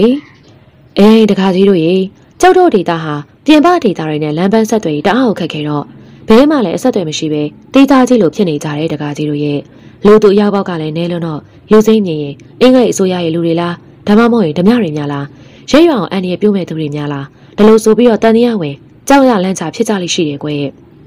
တပည့်တော်တို့ကဒီဒေတာရဲ့အကြောင်းသူတည်တနာပြုဖို့လာကြတဲ့ပညာရှင်ဖွဲ့ပါဖုံဖုံအေးပါကွယ်ကျုပ်ကတော့သဘောပေါက်ပါတယ်ရွာလူကြီးတွေခေါ်ပြီးတော့လည်းအကျိုးအကြောင်းပြောပြပါမယ်ဒီရွာမှာတဲခုံနေထိုင်နေတော့ဘာမှမပူကြပါနဲ့ ဒီလိုနဲ့ဇွဲနေပဲကြီးစွာစိုးစမ်းရှာဖွေခဲ့မှုရဲ့အကျိုးဖလားဖြစ်နေ9ရက်မြောက်တော်နေ့မနက်စာစားပြီးရနောက်မှာတော့ပုံတောင်ပုံညာတောင်ကျောတွေနဲ့နီးလာတဲ့ထန်းတော်တစ်ခုတွေကိုဝင်ရောက်ခဲ့ကြရာတပင်နဲ့တပင်နှလန်ခန့်ကွာဝေးရှိတဲ့ဖိုကလောက်ဆိုင်ပေါက်နေတဲ့ထမ်းမင်အမြင့်ကြီးကိုတွေ့ရပြီးတော့တယ်။အကဲကြေးပရပိုင်လင်ကားထဲမှာထန်းသောပင်ဖိုကလောက်ကတေစာချောင်းဆက်မှာလို့ဆိုထားတယ်မလား။အဲ့တော့ဒီထန်းသောပင်ဟာတေစာလို့နာမည်တွေနဲ့ချောင်းဆက်မှာရှိရမှာလေဗျာ။အခုကဒီနားမှာဘာချောင်းမှမရှိပါလား။ ဒီဒေသတစ်ဝိုက်မှာတေဆာဆိုတဲ့ချောင်းရှိရမလားဗျာတပည့်တော်တို့ကအဲ့ဒီချောင်းဆက်မှာလေ့လာစရာရှိလို့ပါတေဆာချောင်းဟုတ်လားတခါကြီးကြုံမေးကလေးကဒီရွာဒီဒေသမှာနေထိုင်ကျင်လည်လာတာတခါကြီးတို့ရဲ့တေဆာဆိုတဲ့နာမည်နဲ့ချောင်းတော့ကြားတော့မကြားဘူးပါဘူးကွယ်ခက်ပြီသမီးရေခဲလေသမီးအသေးရကြပြန်ပြီထမရဲ့စင်ကောင်ကြီးအမိကြမှာတက်ဆိုသလိုဒီလောက်ခီးချင်းနှလာခဲ့ပြီးတော့မှတေစာချောင်းကိုရှာမရတာနဲ့ရန်ကုန်ပြရမလို့ဖြစ်နေပါပြီ ဆရာကြီးနဲ့ယုံကိုကျွန်တော်ရဲ့ထင်မြင်ယူဆချက်ကိုပြောပြချင်လို့ပါ။အော်အေးပြောလေပြောပါ။ကျွန်တော်တက္ကသိုလ်တက်နေရင်နဲ့ဝေဒပညာရက်တွေကိုလေ့လာမှုတဲ့ဆရာကြီးရဲ့ဝေဒပညာရက်တစ်ခုဖြစ်တဲ့စမ်းအလင်္ကာပညာရက်မှာအရက်ဒေတာ၈ခုပရိဝါဒအာယုနာဂရဘုံမိဂဟပတိတေဇဌာနသီရိဆိုပြီးတော့သတ်မှတ်ထားတဲ့ဆရာကြီး။ ဒါကြောင့်ကျေးပရပိုက်ထရလင်္ကာဝတ်စာထဲမှာတေဇာချောင်းလို့ဆိုထားတာဟာစမ်းလင်္ကာပညာရတေစာရက်မှာရှိတဲ့ချောင်းလို့ဆိုလိုဟန်ရှိတဲ့ဆရာကြီးရဲ့ဟေးဟုတ်လားအဲတတိချာချာရှက်မြစမ်းမအောင်မောင်လူရဲ့ရဲ့စိတ်ဝင်စားလာပြီအဲ့လိုအတွက်မောင်လူရဲ့ကဆောက်ရွက်တရွက်ပေါ်မှာချရေးပြီးတော့အဲ့ဒီအရက်ရှက်မျက်နာမှာမှာပရိဝါဒကစတယ်ဆရာကြီးရဲ့ချမ်းမင်းတွေကိုဗဟုပြုရမှာဆိုတော့ထမ်းဆိုတာကတထဒဒနာစနေနန်းဒါကြောင့်စနေတောင်းကနေစပြီးတော့ ပရိဝါရအာယုနာဂရဘုံမိဂဟပတိတေဇဆိုပြီးအရက်အနေရေတွက်ကြက်မဲ့လိုက်မယ့်အခါမှာတေစာရက်ဟာအရှိရက်ဖြစ်နေတယ်မလားဆရာကြီး။အော်ဒါဆိုရင်ကျုပ်တို့ကဒီထန်းသုံးပင်ဖိုကနောက်နေရာကနေအရှိတဲ့တဲ့ကိုဆက်သွားပြီးတွေ့တဲ့ချောင်းတိုင်းစုံစင်းသွားမှာပေါ့လေဟုတ်လားမောင်လူရဲ့ဟုတ်တာပေါ့ဆရာကြီးရဲ့ဟာဒါဆိုနေရာကြပြီပေါ့မောင်လူရဲ့ရေမောင်ရင်ကတော့ပါပြီတဲ့ကွယ်အေးပညာရဲ့တစ်ခုဟာ တေချာလေးလာစီးပူးထားမယ်ဆိုရင်တနေရာမဟုတ်တနေရာမှာအတော့ဝင်စမြဲပဲကွယ်ကဲအချိန်ရှိတော့အရှိဆူဆူရက်စီခေးဆက်ကြဆိုဟိသူတို့လူစုဟာထန်းတောင်းမဲ့ဖိုကနောက်ဆိုင်ရာအရက်ကနေအရှိဆူဆူကိုဥတီခီးနေခဲ့ကြရာလူနေအိမ်ကြီးရရလုံးဝမတူတော့ပဲတောကြီးမြတ်မဲတဲ့ကိုတွေ့၍တိုးပြီးတော့ဝင်ခဲ့ကြရတော့ပြီတော်တော်တောနဲ့လာပါလားဟုတ်တယ်တောဟာထူလို့နေလူသူရောက်ပါတော်တော်နေမှာပဲတားကောင်တွေရဲ့အန်ဒီကိုတော်တော်သတိထားရမယ်ဆရာကြီးဒီလိုနဲ့ဆက်ပြီးတော့ခီးထွက်ခဲ့ကြလေတော့တယ် ဒီလိုနဲ့ညနေလေစောင်းလာပြီဖြစ်တဲ့အတွက်နေရာထက်တောင်ကပယံတိဟောက်မှာသူတို့စကန်ချလိုက်ပြီးညမောင်ရီတန်းလာချိန်မှာတောဝတ်သားကင်းနဲ့ညစာကိုအာရပါရမြေရီရှက်ရီစားတောက်ကြလာလေတော့တယ်။နောက်နေ့မနက်ခရီးဆက်ခဲ့တဲ့ခါမှာတော့ကြောက်တောင်ဆောင်ဝမ်းမတ်ကြီးပေါ်မှာရှိုးနယ်ကြီးတဲ့ကိုခက်ရခက်ဆဲဆင်းလာတဲ့မှာရှိုးချေရောက်တာနဲ့တသွင်သွင်စီးစင်းနေတဲ့တဲချောင်းတစ်ချောင်းကိုတွေ့ရတာ။တေစာရက်ကချောင်းဆိုတာဒီချောင်းပဲဖြစ်ရမယ်ဆရာကြီး။ဟုတ်နိုင်တာပေါ့ကွယ်။ မျောပါဥပတကောသားဆိုတဲ့စကားရဒေတဲချောင်းကိုရေဆောင်တိုင်း6ပါလုံးကြော်ကြော်လောက်သွားရမှာပဲကွယ်။တမိုင်နည်းနည်းလောက်ကိုသွားရမှာပဲအန်ကေ။ဟုတ်တယ်မောင်ဖေအောင်ကြီး။ဘာပဲဖြစ်ဖြစ်ပြူမျိုးတော်စီသွားရလန်းနဲ့နေတဲ့နေလာပြီလို့ပဲမှတ်ပါကွယ်။ဇွဲရဲပဲကြီးလာတဲ့ Professor ကြီးဦးညွန့်လိုင်ကအားပေးလိုက်လေတော့တယ်။ဒီလိုနဲ့ခရီးဆက်ခဲ့ကြတော့တယ်။ဟာပန်းတွေရဲရဲတောက်ဖူးပွင့်နေတာလှမလှပါလား။ဟုတ်ပါရဲ့ကွယ်။ ကျွန်တော်တို့ရှာနေတဲ့ပြူမျိုးတော်စီတွားရလမ်းဝကိုရောက်ပြီဆရာကြီးရေရောက်ပြီဗျဟုတ်တာပေါ့ဟိုကျေးပရပိုင်လင်းကအဆုံးသတ်မှာရောင်းရသူ့အိမ်ဝဆွေးဆွေးနေစွာလို့ဆိုထားလိုက်တော့အိမ်ဝနဲ့တူတဲ့ရှိုဝက်ကူကြီးကိုတွေ့ရပြီထင်တယ်ဟိသူတို့တွေဝမ်းသာအားရနဲ့တဲချောင်းလေးရဲ့တစ်ဖက်ကန်းစီကိုဖြတ်ကူးကြလေတော့တယ်သူတို့လူစုတစ်ဖက်ချောင်းဆန်နာကိုရောက်လို့လို့မှချောင်းရည်ပြင်းနဲ့ထိလုံနေနေကိုင်းကြနေတဲ့ကငင်ခိုင်းကြီးပေါ်မှာတားရဲတကောင်ရဲ့နှာမုတ်တန်ကိုရုတ်တရက်ကြားလိုက်တယ်ဟာမွေဟောက်ကြီးဟာ တောရီမူယောက်ကြီးပဲနဲတဲ့ကောင်ကြီးမဟုတ်ဘူးမောင်ဖျောင်ကြီးတတိထားဟိဖျောင်မှာရေထဲကိုပလက်လန်ကြမျောပါသွားစဉ်တောကြီးမူယောက်မှာရေပြန်ပေါ်ရောက်ရှိလာပြီးတော့ပရိုဖက်ဆာကြီးဦးညွန့်လိုင်ထံလွန်းလွန်းလွန်းလွန်းနဲ့လျင်မြန်စွာကူးလာလေတော့တယ်ပရိုဖက်ဆာကြီးဦးညွန့်လိုင်ကထိတ်လန့်တကြားအော်ဟိရင်နဲ့လက်ထဲမှာခြောက်လုံးပြူနဲ့ငွေကြီးကိုပထလိုက်တော့လေကြောင်အားလန့်အားပြည့်ရခြင်းဖြစ်တဲ့အတွက်ပြစ်ချက်ကလွဲချော်သွားလေတယ်လူရဲကနှလုံးပြူတနတ်နဲ့မွေကြီးရဲ့ပပြင်းခွက်တွေကိုပြစ်ထည့်လိုက်ရာတောကြီးမွေရောက်မှာခေါင်းပြုတ်ထွက်သွားလေတယ် ဒိုတိုင်အောင်လို့သူ့ရဲ့မဲပြောင်နေတဲ့ကိုလုံးကြီးကရှေ့ကိုအရှိန်နဲ့ရောက်လာပြီး Professor ကြီးဦးညွန့်လာရဲ့ခန္ဓာကိုယ်ကိုရစ်ပတ်လေးတော့တယ်။လူရဲကအဲ့ဒီမွေကြီးကိုဖြည့်ပေးလိုက်ပြီးရေထဲကိုပြစ်ချလိုက်ရာရေစည်းနဲ့မျောပါသွားလေတော့တယ်။တော်ပါသေးရဲ့ကွာမောင်လူရဲ့ကယ်ပေးလို့ပဲ။ဟုတ်တယ်နော်ဖေဖေ။တမီးဖြစ်ရုတ်တရက်ဆိုတော့ဘာလို့လို့ပါကြရမှန်းကိုမသိဘူး။ကိုလူရဲကတီတီငိမ့်ငိမ့်နဲ့အပိုင်ပြစ်လိုက်နိုင်လို့ပေါ့။ ဒီလိုနဲ့ဖူးဖူးနေနေရဲရဲဖြစ်နေတဲ့ပန်းယုံကြီးရဲ့တစိမ့်တတိသားရှမ်းလန်းသွားသည်မှာပန်းယုံနဲ့꿰နေတဲ့ဂူပါဝကိုတွေ့ရလေတော့တယ်။ Professor ကြီးဦးညွန့်လိုင်ကလက်ပတ်နိုင်ကိုကြည့်လိုက်ရာနေ့လယ်2နာရီကျော်ရုံရှိသေးတာကိုတွေ့ရတဲ့အတွက်ဂူလိုင်လန်းထဲကိုဝင်ရန်ဆုံးဖြတ်လိုက်တော့တယ်။ကဲကြားမိအိမ်တွေနဲ့လက်နေတံမီတွေအစင်သင့်ပြင်ကြဟိဒီဂူလိုင်လန်းထဲကိုဝင်ကြမယ်။ဂူဝါဟာရေစမ်းတဲ့တလန်ကွာမှာရှိနေရာတောင်ကပယံကြီးရဲ့အောက်ခြေမှာတည်ရှိနေပြီးတော့တယ်။ ရဲအတန်စာခီးနေတူနေခဲ့ကြတဲ့ပြင်လူရဲကရုံးမိမိကိုတလန်လုံးဖေးမတွဲခေါ်ခဲ့တဲ့အတွက်သူတို့နှစ်ဦးမှာရင်းနေတဲ့ရင်းနှီးလာခဲ့ကြပြီးရုံးမိမိအနေနဲ့လည်းညီတို့ခံစားရမယ်မသိတော့လေလူရဲမှာတော့သူမနဲ့ထိတွေ့မိတိုင်းရင်ခုန်ရပြီးတော့တယ်။อืมဘာပဲဖြစ်ဖြစ်ငါဟာရွန်းနဲ့ပတ်သက်ရင်စောင့်စည်းရမယ့်ဝတ္တရားရှိတယ်။စောင့်ထရမယ့်တာဝန်ရှိတယ်။အဲ့ဒါကိုအချစ်လို့ခေါ်သလားမသိပါဘူး။ဘယ်မင်းကလေးပေါ်မှာမှရင်မခုန်ဘူးပဲနဲ့ရွန်းနဲ့ကြမှာငါရင်တွေတအားကိုခုန်နေမိပါလား။ ကဲဟေးဒီမှာနားကြမယ်နှစ်နာရီနီးပါးမြခီးနေခဲ့ကြပြီးတဲ့နောက်မှာတော့ပေ30ပတ်လည်ခဲ့ကျဲဝင်းတဲ့ဂိုလိုင်ကြီးစီကိုသူတို့ရောက်ရှိသွားကြရာအဲ့ဒီနေရာမှာစကန်ချရန်အတွက် Professor ကြီးဦးညွန့်လိုင်ကဆုံးဖြတ်လိုက်ခြင်းဖြစ်ပေလေတော့တယ်။ဒီနောက်မှာထပ်ပြီးတော့ခီးဆက်ခဲ့ကြတယ်။อืมဒီဂူလိုင်လန်းခီးမှာအန်ဒီရဲ့တိတ်မကြုံရပါပဲ။မကြာခဏတွေ့ရတဲ့ဂူလိုင်လန်းခွဲတွေထဲမှာမှားယွင်းပြီးတော့ဝင်သွားမိမယ်ဆိုရင်ဝင်ကဘာလေးရောက်သွားမှစိုးရင်ရတယ်ကွ။ဟုတ်တယ်နော်အန်ကယ် ကျွန်တော်တို့မှကြေးပရပိုက်ကမြေပုံပါလာပြီလို့ပဲလမို့ဆိုရင်တော့မလွယ်ဘူးလေဟာဒီကူကြီးထဲမှာတက်ပင်တွေပန်းစုံနေပါလားနေအောင်မရပဲနဲ့ဘယ်နဲ့ဒီလိုကူကြီးထဲမှာအပင်တွေအပြားရိုက်ပေါက်နေကြတာပါလေပန်းပင်တွေကအဖုံးငုံတွေပဲရှိရနော်အပွင့်တော့မရှိကြဘူးဟာဒီဒီမှာတက်သေးတွေဟေးဒီမှာဘလို့အသိနိုင်မှမသိပဲနဲ့သွားမစားကြနဲ့နော် Professor ကြီးဦးညွန့်လိုင်ကအော်ဟင်းဟန်တာလိုက်ရာအသေးနိုင်တွေစီကိုလက်လန်းနေတဲ့ဖေအောင်မှာလက်ကတွန်းကနေဖြစ်သွားလေတော့တယ်။ ဟောရေစံလေးတွေထိတာနဲ့ပန်းတွေပွင့်လာပါလားဟဲလှလိုက်တဲ့ပန်းလေးတွေသမီးမခုနဲ့မခုနဲ့ဒီပန်းတွေကိုလည်းမထိနဲ့ဘာလို့လဲဖေဖေရဲ့သမီးရဲ့ကိုမရောက်ဖူးတဲ့အရက်ဒေတာထိုးထိုးကြကြပရောက်နေတဲ့ပန်းမွင့်တွေတက်သေးတွေကိုမထိတွေ့တာအကောင်းဆုံးပဲလေ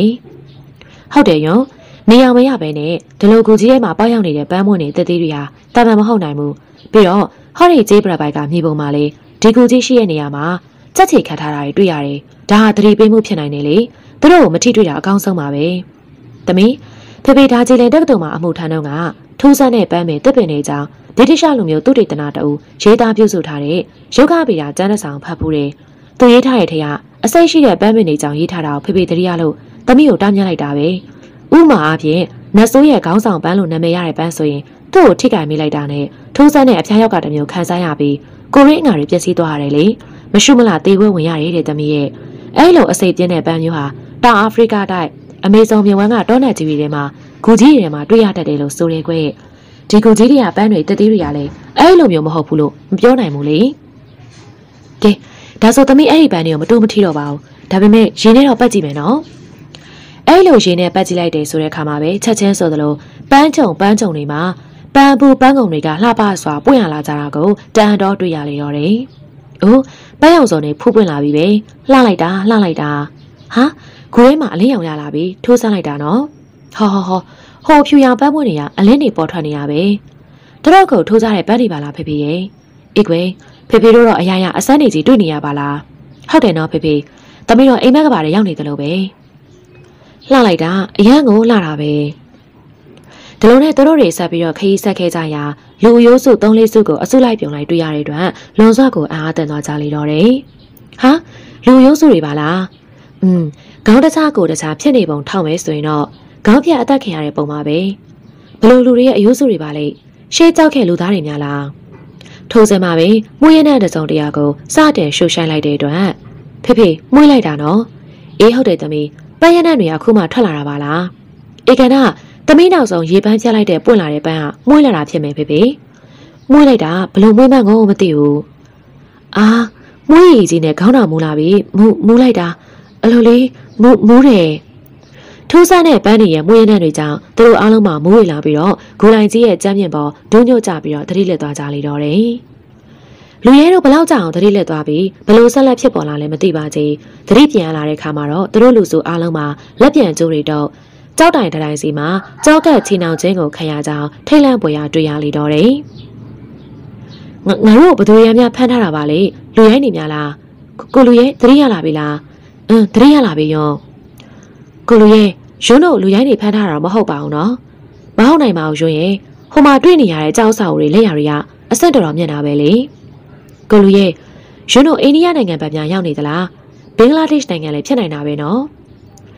အဲ့ဒီချိန်မှာတော့ကြေးမောင်းတန်တစ်ခုကိုဖြည်းဖြည်းမှန်မှန်အချာချာချာထွက်ပေါ်လာပြီ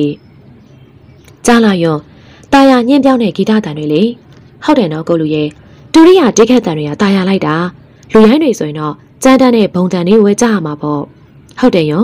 ပြီးတော့အခုကြားနေရတဲ့ဂီတတန်ဟာပကံခစ်ကဂီတတန်နဲ့ခက်ဆင်ဆင်တူးမနေဘူးလားပကံခစ်ကဂီတတန်ကိုရောယွန်းကြားဘူးရဲ့လားကြားဘူးတယ်ကိုလူရေဖဖေနဲ့တူမန္တလေးကိုရောက်တော့ကဂရိတ်ဦးဖိုးစိန်ရဲ့ဇပွဲထဲမှာပကံအကနဲ့ပကံတီးရတီးလုံးတွေကိုကြားဘူးတယ်ဟုတ်တယ်အခုကြားနေရတဲ့ဂီတတန်ဟာပကံဂီတတန်နဲ့ခက်ဆင်ဆင်တူတယ်ဟုတ်တယ်မောင်လူရေအခုကြားနေရတဲ့ဂီတတန်မှုတ်တန်တွေက ပကံခစ်ကတိခတ်လေးရှိတဲ့တီးလုံးတန်မျိုးပဲကွယ်ဒါဒါဆိုကျုပ်တို့ဟာဟုတ်တယ်ဆရာကြီးကျွန်တော်တို့ကတော့ပြူမျိုးတော်ကြီးတင်တရာစီကိုရောက်နေပြီထင်ပါရဲ့ဟာဒါဆိုဝမ်းသာစရာပဲကွာကျုပ်တို့ရဲ့ရင်မှန်ချက်တကယ်တော့အောင်မြင်ပြီပေါ့ဒဏ္ဍာရီလိုလိုပုံမြင်လိုလိုဖြစ်နေတဲ့လက်ကျန်ပြူလူမျိုးတွေရဲ့ခေတ္တမျိုးတော်ကြီးစီကိုကျုပ်တို့ရှာဖွေတွေ့ရှိခဲ့ပြီပဲဝမ်းသာလိုက်ပါပြီကွယ်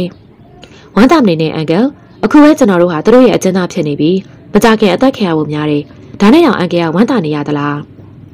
မောင်ဖျောင်ရဲ့ဖြူရီယာကျုပ်တို့ကိုတတ်မယ်မထင်ပါဘူးကွယ်သူတို့ရဲ့နေတဲ့ကျိုးကြော်ဝင်ရောက်လာတဲ့သူတွေကဘသူတွေဘလို့လူစားမျိုးတွေမှမသိသေးလို့သာသူတို့တွေဖမ်းဆီးထားတာဖြစ်မှာပါကွယ်ကျုံရောမောင်လူရဲပါဖြူရီရဲ့ဘာသာစကားကိုပြောဆိုနားလေတာပဲသူတို့ကိုကျုပ်တို့ကတမိုင်းတုတ်တွေတွေတာဖြစ်ကြောင်းသူတို့ကိုရန်ပြုတ်မဲ့သူတွေမဟုတ်ကြောင်းရှင်းပြမယ်ဆိုရင်ကျုပ်တို့အန်တင်ပြုတ်လောက်ပါဘူးအခုလိုချုံတောင်ထားရနေလို့အထူးဧည့်သည်တော်တွေဖြစ်နေတခုတ်တရအောင်ပြုတ်ဆိုဧည့်ခံလိုက်အောင်မယ်လေကျွန်တော်တော့သိမထင်ဘူး သူတို့လိုရှေးအောင်လူတွေကအယူဆွဲတိတ်ကိုကြီးကြတဲ့အန်ကယ်ရဲ့အထူးသဖြင့်သူတို့လိုပြင်ပကဘာနဲ့ကင်းကင်းနေခြင်းတဲ့သူတွေအခုလိုလျှို့ဝှက်မြို့တော်ကြီးထဲမှာတေးသက်နှစ်ထောင်ချီနဲ့နေထိုင်ကြတဲ့သူတွေဟာသူတို့ရဲ့အကြောင်းပြင်ပကဘာလောကတည်သွားမအောင်တိတ်ကိုစိုးရင်ကြမှာပဲလေဒါကြောင့်ပြင်ပကဘာကနေသူတို့ရဲ့လျှို့ဝှက်မြို့တော်တွေကိုဝင်လာတဲ့သူတွေကိုချမ်းသာပေးမှာမဟုတ်ဘူးအဲဒီလိုပဲသူတို့ရဲ့လျှို့ဝှက်မြို့တော်တွေရောက်လာတဲ့သူတွေကိုလည်းပြင်ပကဘာစီထွက်ခွင့်ပြုမှာမဟုတ်ဘူးလေတက်ပြစ်မှာတေးကြတယ်မောင်ဖီအောင်ရေ ပြူရီယာရှေ့ကလူသားတွေဆိုပေမဲ့ရင်ကျဲမှုအဆင့်မြင့်တဲ့သူတွေပါကွယ်ဒါလောက်ရိုင်းဆိုင်ကြမ်းကြုတ်မယ်လို့မထင်ပါဘူးလူလူချင်းအဲ့လောက်မရက်ဆက်နိုင်ပါဘူးကွယ်ကျွန်တော်တော့အဲ့လိုမထင်ဘူးဘာလို့လဲဆိုတော့ကျွန်တော်ကသူတို့ခေါင်းပြတ်တတ်ထားတဲ့အလောင်းတွေကိုတွေးထားလို့ပဲလေဘဘလို့အလောင်းတွေတွေးထားတယ်ဟုတ်လားဘယ်ဘယ်မှာတွေ့ရလဲမောင်ဖေအောင်ကျွန်တော်တို့မူးလဲကြပြီးတော့အဖမ်းခံခဲ့ရတဲ့ဟိုကူလိုင်းကြီးထဲမှာပုံအန်ကယ်ရဲ့မောင်ရိပ်ကြနေတဲ့ဗန်းယုံတွေအောင်မှာခေါင်းတခြားကိုတခြားဖြစ်နေတဲ့အယိုးစုလေးစုတွေ့ခဲ့ရတယ်မဟုတ်လားဟေးဟုတ်လား ဟုတ်တယ်အန်ကယ်ကြည့်ရတာတော့ဒီပြူမျိုးတော်ကြီးကနေထွက်ခွာဖို့စ조사ခဲ့တဲ့သူတွေနဲ့တူတယ်ဗျဘာလို့လဲဆိုတော့ပြူတွေကသူတို့ခေါင်းဖြတ်တက်ပြီးရနောက်မှာသူတို့ရဲ့အဝယ်ဆိုင်နဲ့လက်ဝက်တစားတွေကိုအားလုံးချွတ်ယူသွားကြတယ်လေလက်နဲ့တစ်ခုခုတော့မထားရခဲ့ကြဘူးသူတို့ရဲ့ရည်ရွယ်ပုံကတကယ်လို့ပြင်ပကဘာလူတွေဒီကိုကြီးစီကိုမတော်တဆရောက်လာမယ်ဆိုရင်ဖြူခေအဝယ်စားတွေလဲဆွဲတစားတွေပြူတွေကင်နေကြလက်နက်တွေကိုမတွေ့မမြင်စေချင်မှုနဲ့တူတယ်ဒါကြောင့်လက်စဖြောက်သွားကြပြီးအလောင်းတွေကိုဒီတိုင်းပြထားခဲ့ကြတာပဲလေ အေးဒီတိုင်းဆိုရင်တော့တိတ်ပြီးတော့လွယ်ကူမှမထင်ပါဘူးမောင်ဖေအောင်ရဲ့မင်းရဲ့တွေးဆချက်ကလည်းဖြစ်နိုင်တာပဲကွာဘာပဲဖြစ်ဖြစ်လေကျုပ်တို့တို့တို့နားလေခွင့်လွတ်နိုင်အောင်တော့စူးစမ်းကြရမှာပေါ့အဲဒီအချိန်မှာပဲအရက်တော်မြင့်ကကြက်ခိုင်ညိုမောင်းသောခန္ဓာကိုယ်ရှိတဲ့ပြူစစ်သေးကြီးကအဲမောင်းလန်ကိုကင်ဆောင်ကြောက်လင်ပြင်ပေါ်ရောက်လာပြီးသူ့ရှေ့မှာဖျက်လျှောက်သွားတယ်။ဟုတ်တယ်သူဟာပြူလူမျိုးပဲပြူရီဟာဘဲဥပုံမျက်နှာရှိပြီးပါဇက်ကျဲနှက်ခမ်းထူနှက်ခေါင်းကြီးနှက်ခေါင်းပေါက်ကျဲကြတယ်လို့ ကြောက်စာမှင်စာတွေမှာဖတ်ရဖို့တယ်ဒီလိုယုံမျိုးပဲလေဟုတ်တယ်မောင်လူရဲ့အဲ့ဒီသူကတရေခက်တရာပြူမျိုးတွေပဲတရေခက်တရာပြူရီဟာအပြာရောင်ကိုနှစ်သက်လေးရှိရလို့ကြုတ်သိထားတယ်ပြူစစ်တေကြီးကထင်းထိုးပြီးတော့နောက်လဲထွက်စဉ်ပရိုဖက်ဆာကြီးဦးညွန့်လိုင်ကပြူပါသားစကားနဲ့လှမ်းခေါ်လိုက်တယ်ဟေ့ရဲမက်ရဲမက်ဒီလာပါအောင်ကွဟေ့ရဲမက်ကျုပ်တို့ဘာလို့ဖမ်းထားတာလဲတဲ့တဲ့ကကျုပ်တို့ရဲ့စကားကိုပြောတတ်တယ်ဟုတ်လားဟုတ်တယ်ပြောတတ်ပါတယ် ကျုပ်တို့ဟာပြင်ပခဲ့မိတိုးတက်နေတဲ့ကဘာကြီးကနေလာတဲ့တမိုင်းသူတွေတီတီပါပဲကွယ်အင်းအဲ့လိုပြင်ပကဘာလူတွေရောက်မလာအောင်လို့ဂမ်ဘီယာနီးနဲ့စီမံထားတဲ့မရဏတကားဝဂူလိုင်ကြီးထဲမှာတင်းတို့လဲပြုတ်ကြတရေလက်နေအောင်တွေ့ရလို့ကျုပ်တို့ကဘယင်မမိတ်နဲ့ဖမ်းဆီးခဲ့ကြတာပဲလေဘလို့ဘယင်မမိတ်ဟုတ်လားဒါဆိုဒီပြူပြိုးတော်ကြီးကိုဘယင်မတပားအုပ်ချုပ်နေရပေါ့လေဟုတ်လားဟုတ်ပါတယ်ဘယင်မရှိလားအုပ်ချုပ်နေရပါဟုတ်ပြီကျုပ်တို့အဲ့ဒီဘယင်မရှိလားတွေ့ကြတယ် တင်တော့ရာဆွဲသားတွေပဲရာဆွဲသားမှမနဲ့အာယုံတက်တာနဲ့ခေါင်းပြက်ကွက်မြက်ခံရမယ်ရာဆွဲသားတွေပဲဒီတော့တင်တော့လိုရာဆွဲသားတွေအနေနဲ့ဘယင်မကိုတွေ့ခွင့်မရနိုင်ဘူးလေနေပါအောင်ကျုပ်တို့မှသာအပြစ်ရှိရလို့ဘာကြောင့်တတ်မှာလဲတင်တော့ကျုပ်တို့ရဲ့လျှို့ဝှက်မျိုးတော်စီကျိုးကြော်ရောက်လာခဲ့တဲ့သူတွေပဲကျုပ်တို့လျှို့ဝှက်မျိုးတော်စီကိုကျိုးကြော်ဝင်လာသူတွေနဲ့ထွက်ပြေးကျင်နေသူတွေအတွက်ဒီတင်တရာရွှေမျိုးတော်ကြီးရဲ့ဥပဒေကတော့တည်တယ်မဲ့လေကောင်းပါပြီဒါပေမဲ့ကျုပ်တို့ကိုမစီရင်ခင်မှာကျုပ်တို့ဟာကျိုးကြော်သူတွေမဟုတ်ပါဘူး ရှေးအောင်သမိုင်းအမှန်တွေကိုစိုးစမ်းရှာဖွေနေတဲ့သမိုင်းပညာရှင်တွေသာဖြစ်ကြောင်းဘယမစီကိုရှောက်တင်ပေးပါဗျာကောင်းပြီလေတင်တို့ပြောလို့ရကိုရှောက်ထားပြောပြပေးပါမယ်ပြူစစ်တေကြီးဟာဒါပဲပြောဝိယုံပြကြီးတလွားလွားနဲ့လမ်းလျှောက်ထွက်သွားခဲ့လေတော့တယ်ကဲမပြောပလားအန်ကယ်ရဲ့ကျွန်တော်တို့ကိုပြူရီရအဆုံးစီရင်ကြလိမ့်မယ်လို့လေအေးပါမောင်ဖျောင်ရဲ့အေးပါဒါပေမဲ့ကျုပ်တို့ကတော့အဆုံးစီရင်မခံရခင်မှာဘယမနဲ့တွေ့ခွင့်ရဖို့ကြံစားရမှာပဲလေ လူရဲတို့တစုကျိုးတုတ်ခံရထားတဲ့ကြောက်တောင်တွေမှာတမင်းနမင်းအိပ်ပျော်သလိုဖြစ်သွားကြလေတော့တယ်မနက်ခင်းနေအောင်ကြီးလင်းလန်းစပြူလာတာနဲ့အုံဆိုင်နေတဲ့နှင်းမျိုးတွေကတဖြည်းဖြည်းနဲ့ပါးလျာသွားလေတော့တယ်ကျေးမောင်းတန်ကြီးအချက်မှန်မှန်လေးလေးပင်ပင်ထွက်ပေါ်လာပြန်ပါပြီတင်ဒရာမျိုးတော်ကြီးမှာပြူလူမျိုးတွေရဲ့လှုပ်ရှားမှုတွေကိုလူရဲတို့ကအပေါ်စီးကနေအတိုင်းသားမြင်နေရတာစကားတန်နေမကြားပဲမောင်းတန်တူတူတူသာအချက်မှန်မှန်ကြီးကြားနေရတယ်ပရိုဖက်ဆာကြီးဦးညွန့်လိုင်ကလူရဲဘက်ကိုခေါင်းလေးကြီးကပြောလိုက်တယ်မောင်လူရဲရေ ညာတော့ကဟိုပြူစစ်တီကြီးပြောသွားတာကျွန်ုပ်တို့ကိုအာယုံတက်တာနဲ့ကွက်မြက်မယ်ဆိုပြီးအခုထိဘာမှမလုပ်သေးပါလားဟုတ်တယ်ဆရာကြီးတို့ဘလို့အစီအစဉ်ပြောင်းသွားလည်းမသိပါဘူးပြီးတော့ဟိုကြောက်ဖြူသားအစာအုပ်ကြီးစီစောစောစီးစီးလူတွေဘာအတွက်သွားနေကြလဲမသိဘူးနော်ဒီလိုစဝေးစဝါအတွေးတွေနဲ့သူတို့ရဲ့အနာဂတ်အတွက်တော့ကပွားနေကြစင်မှာကြောက်လင်ပြင်းရဲ့ဝဲဘက်မှလှေကားတိုင်းစစ်တီရဲမဲ့တုံးဦးတက်လာလေတော့တယ် အားလုံးကိုကြိုးပြေပြီးတော့မှရဲမဲ့အကြီးကကလူရဲတို့လူစုတွေမှာအသက်ကြီးဆုံးဖြစ်တဲ့ Professor ကြီးဦးညွန့်လာရဲ့မျက်နှာကိုတဲတဲကြီးမိတ်ဆက်စကားဆိုလေတယ်။တင်တို့က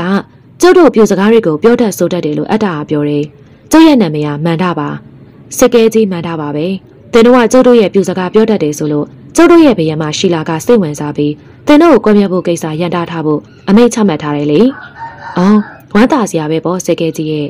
ဓာတ်ထက်တင်တို့ဟာတမိုင်းသူတွေတီတွေဆိုဟုတ်လားဟုတ်ပါတယ်စကဲကြီးတမိုင်းဝင်နေရဒေသတွေကိုလိုက်ပြီးတော့လေ့လာနေတဲ့သူတွေပါအဲ့လိုလေ့လာရင်းနဲ့ဒီနေရာရောက်လာတာပါပဲอืมတင်တို့ကတမိုင်းသူတွေတီတွေဆိုလို့ဘယမကတင်တို့ကိုစိတ်ဝင်စားပြီးတော့အခေါ်ခိုင်းလိုက်တယ်လေဗျာကျုပ်တို့အခေါ်ခိုင်းလိုက်တယ်ဟုတ်လားကောင်းတာပေါ့ဗျာကျုပ်တို့ကလည်းခမရတို့ရဲ့ဘယမနဲ့တိတ်ကိုတွေ့ကြနေတာဗျာอืมတင်တို့အခုလှရုံတော်စီကိုခေါ်သွားမယ်ဗျာအဲ့ဒီလှရုံမှာဘယမကတင်တို့ကိုမေးစရာရှိတာမေးမြန်းလိမ့်မယ် သူတို့ကကျုပ်တို့မျိုးတော်ကြီးအတွက်အန်ဒီပြုတ်မဲ့သူတွေဟုတ်မဟုတ်ဘယမစစ်စစ်မင်းမြတ်မှာပဲလေအဲ့လိုစစ်စစ်ပြီးတော့မှဘယမကသူတို့ကိုဘယ်လိုစီရင်ရမယ်ဘယ်လိုစီမံရမယ်ဘယ်လိုသဘောထားရမလဲဆိုတာကိုလှရုံအမတ်တီတွေရဲ့နတ်ဆရာကြီးကောသလာရဲ့မြို့တော်သူမြို့တော်သားတွေရဲ့ရဲ့ရှိမှမှာအမိတ်ချမဲ့ရမှာဖြစ်တယ်။တင်တို့ကံကောင်းပါစေလို့ကြုံဆူတောင်းပေးလိုက်ပါတယ်။နေပါအောင်စိတ်ကဲကြီးရဲ့စောစောကပြောတဲ့အချိန်မှာနတ်ဆရာကြီးဂေါသလဆိုတာဘာလို့လဲဗျ။နတ်ဆရာကြီးဂေါသလဟာဒီမြို့တော်ကြီးရဲ့ဘာသာရေးဆိုင်ရာအကြီးအကဲပဲလေကွယ်။ ဗျာပြူပြူလူမျိုးတွေဟာဗုဒ္ဓဘာသာနဲ့ဗြဟ္မဏဝါဒတွေကိုယုံကြည်ကိုးကွယ်ကြတာမလားစေကဲကြီးရဲ့อืมကျုပ်တို့ရဲ့ဘိုးဘွားတွေလက်ထက်ကတော့ဗုဒ္ဓဘာသာပဲကိုးကွယ်ခဲ့ကြတာပါပဲ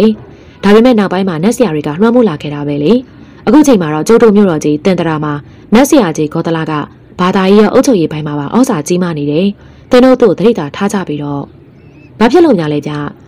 နတ်ဆရာကြီးခေါ်သလားကအသိပညာမြင့်တဲ့သူအကြားမြင်များတဲ့သူတွေမနဲ့တတ်ဘူး သင်တို့ဟာကဘာတက်ကလာတဲ့သူတွေလို့သူသိထားတော့သင်တို့ဟာအကြားမြင်များတဲ့သူတွေဖြစ်လို့အဲ့လိုသူကယူဆရလေအဲ့ဒီသူတွေကိုသူကတိတ်ကုန်မုန်းတာဒါကြောင့်ကင်းဖွင့်ရကင်းလေရင်နဲ့သင်တို့ကိုဖမ်းမိလာတော့ကွက်မြက်ဖြစ်ဖို့ဘီယမကိုသူကတိုက်တွန်းခဲ့တာပဲလေဘီယမလည်းသင်တို့မနက်အာယုံတတာနဲ့ကွက်မြက်ဖြစ်ဖို့အမိန့်ပေးခဲ့တယ်ဒါပေမဲ့သင်တို့သာကျုပ်တို့ရဲ့ပြူစကားပြောတတ်ကြောင်းတမိုင်းသူတွေဒီပညာရှင်တွေဖြစ်ကြောင်းဘယမသိသွားတော့ရုပ်ချီမကွက်မြတ်သေးပဲနဲ့ လှုပ်တော်ရုံကိုတင်းအားလုံးရဲ့ရှေ့မှောက်မှာစစ်ဆေးမေးမြန်းဖို့အမိန့်ချမှတ်ထားခဲ့တာပဲလေကဲကဲကဲမကြခင်လှုပ်ရုံတော်စတင်တော့မယ်ကျုပ်တို့နဲ့သာလိုက်ခဲ့ကြဒီလိုပြောတဲ့အတွက်လိုက်သွားကြလေတော့တယ်ဘယင်မရဲ့အလှကိုတွေ့မြင်လိုက်ရသည်မှာတခြားသူတွေကဲ့သို့ပင်လူရဲလေလွန်စွာအံ့အားတန်သွားလေတော့တယ်ဟာဘယင်မတော်တော်ကိုလှတာပါလားဘယင်မဟာလက်ရလက်ဖက်မှတာမီးရက်ကိုလက်ဝဲလက်ဖက်ကိုခပ်ပြေးပြေးတစ်ချက်ချင်းတစ်ဖြက်ဖြက်ခတ်ပြီးတော့မင်းမြန် system မှုကိုစတင်လေတော့တယ်။ တင်တို့ကဘဲရက်ကနေလာကြတာလေ။မြန်မာပြည်ကလာပါတယ်ဘယင်မခမ။မြန်မာပြည်ဆိုတာပောက်ကံရာမကနေစပြီးတော့ဖြစ်ပေါ်လာတဲ့တိုင်းပြည်မလား။တမိုင်းပညာရှင်တွေရဲ့အမြင်အယူဆတွေကွဲပြားမှုတွေရှိပါတယ်ဘယင်မခမ။တချို့ပညာရှင်တွေကမြန်မာဆိုတာပကံကစတယ်လို့ယူဆကြပြီးတချို့ပညာရှင်တွေကလွန်ခဲ့တဲ့နှစ်ပေါင်း2000ကျော်ကာလမှာပေါ်ထွန်းခဲ့တဲ့တကောင်းကနေစတယ်လို့ယူဆကြတယ်။ဒါကြောင့်မြန်မာအစတကောင်းကားလို့ဆိုရရှိပါတယ်။တကောင်းပြည်ကြီးဟာ ကျွန်ုပ်ရဲ့ဘိုးဘေးပြည်ပင်မျိုးနွယ်အူအဖျားပန်ထရာဘီယမာကြီးစိုးစံခဲ့တဲ့ဗေတနိုးတိုင်းပြည်ကြီးနဲ့ကျွန်ုပ်ရဲ့ဘိုးဘေးပြည်ပင်ဒုတပောင်မင်းကြီးရဲ့တရေခက်တရာပြည်ကြီးမပေါ်ထွန်းခင်ကလေးကပေါ်ထွန်းခဲ့တဲ့တိုင်းပြည်မလား။ဟုတ်ပါတယ်ဘီယမာတကယ်တော့တကောင်းပိတ်တနိုတရေခက်တရာဟန်လင်းစတဲ့ခက်ကပြူလူမျိုးတွေနဲ့ဘယင်မတို့ဟာမျိုးနွယ်တူတွေဖြစ်ကြပါတယ်။တက်နာမယ်ဘယ်သူလဲလူရဲပါ။ကဘာတက်သူလေးရလဲတော်တော်လှပြီးတော့ချက်စရာကောင်းတဲ့သူလေးပဲ။အမောင်လူရဲတို့က ကျွန်တော်တို့ရဲ့မြို့တော်စီဘာအတွက်ကြောင့်လာကြတာလဲ။အဲ့ဒီမှာလူရဲကပြူမျိုးနွယ်ဖြစ်ရန်တူတဲ့ယဟန်တပါနဲ့ Professor ကြီးဦးညွန့်လိုင်တို့အိန္ဒိယပြည်မှာစုံစည်းမိခဲ့ကြချိန်ကဒီမြို့တော်တည်ရှိကြောင်းသတင်းအစာရခဲ့တဲ့ပုံသူတော်စင်တပါရေးသားမှတ်တမ်းပြုစုထားခဲ့တဲ့ရှေးပြပတစ်ခုကစပြီးဒီပြူလျှို့ဝှက်မြို့တော်ကြီးရှိကြောင်းသတင်းအစာနာရပုံတွေကိုရှင်းပြလိုက်လေတော့တယ်။ဒါကြောင့်လွန်ခဲ့တဲ့နှစ်ပေါင်း2000လောက်ကပေါ်ထွန်းခဲ့တဲ့ရှေးခဲပြူတွေရဲ့အစံတွေပြူလူမျိုးတွေဟာ ဒီကနေ့ထိမြို့ပြတည်ထောင်နေထိုင်နေတယ်ဆိုတာယုံနိုင်ပွဲမရှိရနဲ့ကန္နာရီလိုလိုပုံမြင်လိုလိုတမိုင်းနေရနေပျောက်ဆုံးနေတဲ့မြို့တော်လိုလိုဖြစ်နေတဲ့ဒီတင်္ဒရာမြို့တော်ကြီးတကယ်ရှိမရှိသိကျင်တဲ့အတွက်စော်စားရှာဖွေလာခဲ့ကြတာပါဘယင်မအဲဒီနောက်ဘယင်မကအကျဉ်းသားဧည့်သည်တွေထံမှတင်စီရဖြစ်ယူလာတဲ့ပစ္စည်းတွေကိုခက်ရွရွနဲ့ဒိုင်လိုက်ပြီးတော့ရက်လိုက်တော့တယ်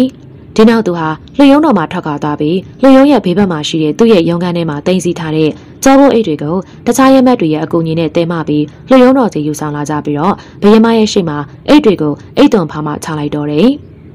ဘယင်မကကင်မရာကိုတားမရက်နဲ့ညွှန်ပြပြီးတော့အဲ့ဒါပါလေဓာတ်ပုံရိုက်တဲ့ကင်မရာပါဗါတဲ့ဓာတ်ပုံရိုက်တဲ့ကင်မရာဟုတ်လားအဲ့ဒါဘာတော့ဒီလိုပါဘယင်မအဲ့ဒီကရိယာကိုကင်မရာလို့ခေါ်ပါတယ်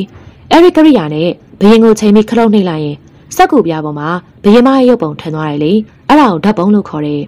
အော်ဒီလိုလားဓာတ်ပုံဆိုတာကြေးမုံပေါ်မှာပုံရိပ်ထင်တယ်လို့လားမဟုတ်ပါဘူးဘယင်မကြေးမုံရှိမှဘယင်မရက်နေတော့မယ်ဘယင်မရဲ့ပုံရိပ်ကကြေးမုံပြင်ပေါ်မှာထင်းနေမှာပါကြေးမုံရှိရနေဘယင်မခွာလိုက်တာနဲ့ပုံရိပ်ကပြောက်ွယ်သွားမှာပဲလေကင်မရာနဲ့ရိုက်လိုက်တဲ့ဓာတ်ပုံကတော့ပုံရိပ်ကထာဝရထင်းနေမှာပါ။အိုးဟုတ်လားတော်တော်စိတ်ဝင်စားဖို့ကောင်းတာပဲ။ ဒါဆိုရင်ကျွန်ုပ်ကိုအဲ့ဒီဓာတ်ပုံရအောင်ပြုတ်လုပ်ပေးပါလား။ဟုတ်ကဲ့ပြုတ်လုပ်ပေးနိုင်ပါတယ်။ဒါပေမဲ့ကင်မရာနဲ့ဓာတ်ပုံရိုက်ပြီးပြီးချင်းဓာတ်ပုံမရပါဘူး။တရက်လောက်အချိန်ပေးကူစိတ်ပြီးတော့မှဓာတ်ပုံရတာပါ။အဲ့ဒါတွေကလက်နက်တွေမလား။ဟုတ်ပါတယ်ဘီရင်မ။ရမ်းရဲ့ပောက်ကွဲအားနဲ့ပြည့်ရတဲ့လက်နက်မျိုးပါ။တနတ်လို့ခေါ်တယ်။ဟုတ်ပြီ။ဒါဆိုကျွန်တော်ပြောမယ်။ကင်မရာနဲ့ဓာတ်ပုံရအောင်ပြုတ်လုပ်ပေးနိုင်စီဖို့အတွက်တင်းတို့နှစ်ရက်ချိန်ပေးမယ်။အဲ့ဒီနှစ်ရက်အတွင်းမှာစိတ်ကဲကြီးမန္နာရဲ့ကြီးကြပ်မှုအောက်မှာတင်းတို့နေရမယ်။ လိုအပ်တာရှိရင်လည်းသူ့ကိုပြောလို့ရမယ်။ဟုတ်ပြီလား။ဟုတ်ကဲ့။ကောင်းပြီ။အမိတ်ချမှတ်မယ်။ကျွန်ုပ်ဘယံမရှိလားအမိတ်ချမှတ်မယ်နာခံစီ။ပြင်ပအရမကျွန်ုပ်စိုးစံသောတင်္ဒရာရွှေမြို့တော်ကြီးစီကျိုးကျော်ရောက်ရှိလာသည့်ဤအကျဉ်းသား6ယောက်တို့အားတင်္ဒရာထင်းနှံဥပဒေအရလူသက်ကုန်းမှာတင်လျက်ကွက်မြက်အပြစ်ပေးရန်ဖြစ်တော်လေသူတို့သည်ကျွန်ုပ်ဘယံမကြီးတင်္ဒရာရွှေမြို့တော်ကြီးနဲ့မြို့တော်သူမြို့တော်သားတွေပေါ်မှာတစုံတရာအကောက်ကျန်ဒုက္ခပေးမဲ့အရေးအယံမရှိတဲ့အတွက်၎င်း သူတို့နဲ့အတူပါလာတဲ့ကင်မရာဆိုတဲ့ကိရိယာရဲ့အစွမ်းကိုကျွန်ုပ်မှသိလို့သေးတဲ့အတွက်၎င်းဒီအကျဉ်းသားတွေကိုအပြစ်ပေးတပ်ဖြတ်ကွပ်မျက်ခြင်းကိုခိတ္တဆိုင်ငံထားရအမိန့်တော်ချမှတ်လိုက်သည်ဤအကျဉ်းသားတွေနဲ့ပတ်သက်ပြီးဥပဒေအရစီရင်ခြင်းမပြုမီသူတို့ကိုစိတ်ကဲကြီးမှန်နာမှစောင့်ထိန်ထားစေအမိန့်တော်ဘရင်မရဲ့အမိန့်တော်ချမှတ်တဲ့အဆုံးမှာကြေးမောင်းထုတန်စီရောခောက်တန်တွေတခဲနဲ့ထွက်ပေါ်လာခဲ့လေတော့တယ်။ စိတ်ကဲကြီးမန္နာကလည်းကြက်ခိုင်တေးကြီးတဲ့ယောက်ျားကောင်းတွေရဲ့ကြံရင်လက္ခဏာနဲ့ပြည့်စုံသူဖြစ်ပြီးတော့အမိန့်နာခံတတ်တဲ့စစ်တီကောင်ပိသားသူဖြစ်တော့လေပင်ကိုစရင်ကောင်းသူဖြစ်တဲ့အတွက်လူရဲတို့အပေါ်မှာအကျဉ်းသားတွေဖြစ်နှိမ်ချဆက်ဆံခြင်းပြုပဲလေးလေးစားစားရည်ရင်မုံမဆက်ဆံလေတော့တယ်။တင်းတို့ဒီမှာအေးအေးချမ်းချမ်းနားနေပါတင်းတို့အတွက်စားတော့ဖွေရတွေပို့ပေးလိုက်ပါမယ်။ဒါကျုပ်တို့အတွက်အကျဉ်းစခန်းပေါ့လေဟုတ်လားစိတ်ကဲကြီး။အကျဉ်းစခန်းမဟုတ်ပါဘူးလူရဲ့ဒါဟာနားနေဆောင်မှာ လွတ်တော်ရုံဥပဒေအရတင်းတို့ကိုအကျဉ်းသားလို့ခေါ်ပေါ်သုံးနှုံးနိုင်ပြီမဲ့ဘီယမအတင်းတို့ကိုဧည့်သည်တော်တွေဖြစ်နေသဘောထားပုံရတယ်တကယ်အကျဉ်းစခန်းကတင်းတို့ကိုနှောင်ကျိုးတဲနှုတ်ချုံနှောင်ထားတဲ့လူသားကုန်းရဲ့အောက်ကဂူလိုင်ကြီးထဲမှာရှိတာပဲလေအော်အဲ့လိုလားဒါဆိုတော်သေးတာပေါ့ဟုတ်တယ်တင်းတို့ဒီနားနေဆောင်မှာကောင်းကောင်းထားပါမယ်စားကောင်းတောက်ကောင်းနေကြွေးပါမယ်ဒါပေမဲ့ဒေဆောင်ရဲ့ဝင်းကျင်ရလွယ်ပြီးတခြားဘယ်နေအောင်မှကျွန်တော်ရဲ့ခွင့်ပြုချက်မရဘဲနဲ့တွားခွင့်မရှိဘူးလိုရာရှိရင်ကျွန်ုပ်ကိုပြောပါ ဒါဆိုကျုပ်ရဲ့ကင်မရာနဲ့ကြောဘိုးအိတ်ကိုပြန်ပေးပါကျုပ်တို့အဝယ်စားလဲခြင်းပြီတင်တို့ရဲ့ကြောဘိုးအိတ်တွေကိုစစ်ဆေးလုပ်ပြီးပါပြီမကြခင်ပို့ခိုင်းလိုက်ပါမယ်ကင်မရာလည်းပို့ခိုင်းလိုက်ပါပါတင်တို့ရဲ့လက်နက်တွေကိုတော့တင်စီထားလိုက်ပါပြီဒီနောက်စိတ်ကဲကြီးမန္နာကနားနေဆောင်ထဲမှာထွက်ခွာသွားလေတော့တယ်ဒီနောက်မှာတော့ထမင်းဖြူဖြူနဲ့ဟင်းလျာတွေကိုလာရောက်ပြီးတော့ချပေးလိတော့တယ်ခေါင်းမဖော်တန်းစားကြပြီပြူလိုက်ရဟင်းလျာတွေကစားလို့မင်းလာတကွယ်မောင်လူရဲ့ရေအဲ့ဒါကင်မရာရဲ့ကျေးဇူးကသိရလား မောင်ရင်ယူလာခဲ့တဲ့ကင်မရာရဲ့ကျေးဇူးကြောင့်ပဲဟုတ်တယ်နော်ဖေဖေဘယင်မကကင်မရာရဲ့အစွမ်းကိုသိကြလို့အချိန်ပေးပြီးတော့အခုလိုပြုဆိုတာကိုလူရဲတို့များကင်မရာပါလာတာမပြောဘူးอืมပြောမလို့ပါပဲလေမိနေလို့တို့ကခီးထွက်ကင်မရာစောင်းတက်လိရှိတယ်ကိုလူရဲကဘယင်မကိုဓာတ်ပုံရိုက်ပေးပြီးတော့ဘယ်မှာသွားကူစေးမှလဲရန်ကုန်ရောက်မှကူစေးမှလားကျွန်တော်ကခီးရှည်ထွက်ရင်ကင်မရာရောကူးဖို့စေးတွေရောကရိယာတွေရောအပြည့်အစုံထည့်လာတတ်တဲ့သူပါအော်အော်ဒါဆိုတော်သေးတာပေါ့ဒီနောက်အေးဖြတ်ပြီးတော့ခရီးပန်းလာကြတဲ့သူတို့တွေက တိုးမွေးခင်းနေပေါ်မှာတန်းစီလဲလျောင်းလိုက်ကြရာခဏကြာမှနှစ်ချိုက်စွာအိပ်ပျော်သွားကြလေတော့တယ်။ကဲအမောင်လူရဲ့ဓာတ်ပုံရိုက်ဖို့အစင်းသင်းဖြစ်ပြီလား။ဟုတ်ကဲ့ဖြစ်ပါပြီဘယင်မ။ကဲဒါဆိုလုံးစရာရှိရလောက်ကြရအောင်။ဟုတ်ကဲ့ဘယင်မမှာဓာတ်ပုံတစ်ခါမှအရင်မခံဘူးတဲ့အတွက်စိတ်လှုပ်ရှားနေကြပြီးလူရဲလူကျင်တဲ့ကိုနေဟန်တာတိုင်းမဖြစ်ဖ ೇನೆ အတိုင်ငယ်လွဲချော်လျက်ရှိနေပြီးတော့တယ်။ကဲပါအမောင်လူရဲ့ရဲ့တင်ကိုယ်တိုင်ပဲပြင်ပေးလိုက်ပါတော့မဲသားတို့ခိုင်းရတာအဆင်မပြေပါဘူး ဒလုံးနဲ့လူရဲကိုယ်တိုင်ဘယင်မကိုထိတွေ့ပြီးကိုနေဟန်ထားတွေကိုပြုတ်ပြင်ပေးရရာဘယင်မကိုအနေကပ်ဖို့တွေ့ခွင့်ရလေတယ်။อืมဘယင်မရှိလာဟာအနေကပ်ကြည့်လေလေလှလေလေပါလားတကယ်ကိုပြင်းမြုံးမဲ့မတဲ့အလှမျိုးပဲကြည့်ပါဦးပါမမို့လေးတွေနဲ့ရွှေလေတိုင်းမှာအကျော်စိမ့်လေးတွေရှက်ပြားတန့်ပြန့်နေပုံကညနိုးပွဲကောင်းလိုက်ပါပြီ။အမောင်လူရဲ့ဗျာအေးလူအိုက်လောက်ကြည့်နေတာမျက်လုံးနဲ့ဓာတ်ပုံရိုက်မလို့လား။အေးဟုတ်အဲမဟုတ်ပါဘူးဘုရင်မဟိုဟိုအမောင်လူရဲ့ ဓာတ်ပုံဘယ်တော့ရိုက်မလဲမနေ့ပြန်ညနေလောက်မှရအောင်လို့ကျွန်တော်မျိုးစူးစမ်းပေးပါမယ်ကောင်းပါပြီရအောင်စူးစမ်းပါလိုအပ်တာရှိရင်စိတ်ကဲကြီးမှန်တာကိုပြောပေါ့ဟုတ်ကဲ့ကဲဒါဆိုရင်လဲနှက်ပြီးတဲကိုဆောင်စီပြန်ပြီးအောင်တော့ရှီလာလဲအိတ်ဆက်တော့မေဒီနောက်မှာတော့ဇင်းကြစီလှုပ်လေးလှုပ်လေးနဲ့ရှောက်သွားရလူရဲမှာဘီယမရဲ့နောက်ပိုင်းလာကိုငေးမောရင်းနဲ့ကြောက်ရွံ့နဲ့မလုံးမရှက်ကြံ့ရစ်ခဲ့လေတော့တယ်စိတ်ကဲကြီးမှန်တာခမ်းမဆောင်တွင်ဝရက်တော့မှလူရဲလဲသတိတစ်ချက်ဝင်လာပြီးတော့ ဘလို့လဲရောင်ရင်ရဲ့မတ်တက်ကြီးမိနေပြီလားအော်စိတ်ကဲကြီးအေးဓာတ်ပုံရိုက်တဲ့ကိစ္စပြီးသွားပါပြီကျို့တို့ပြန်ရအောင်လေ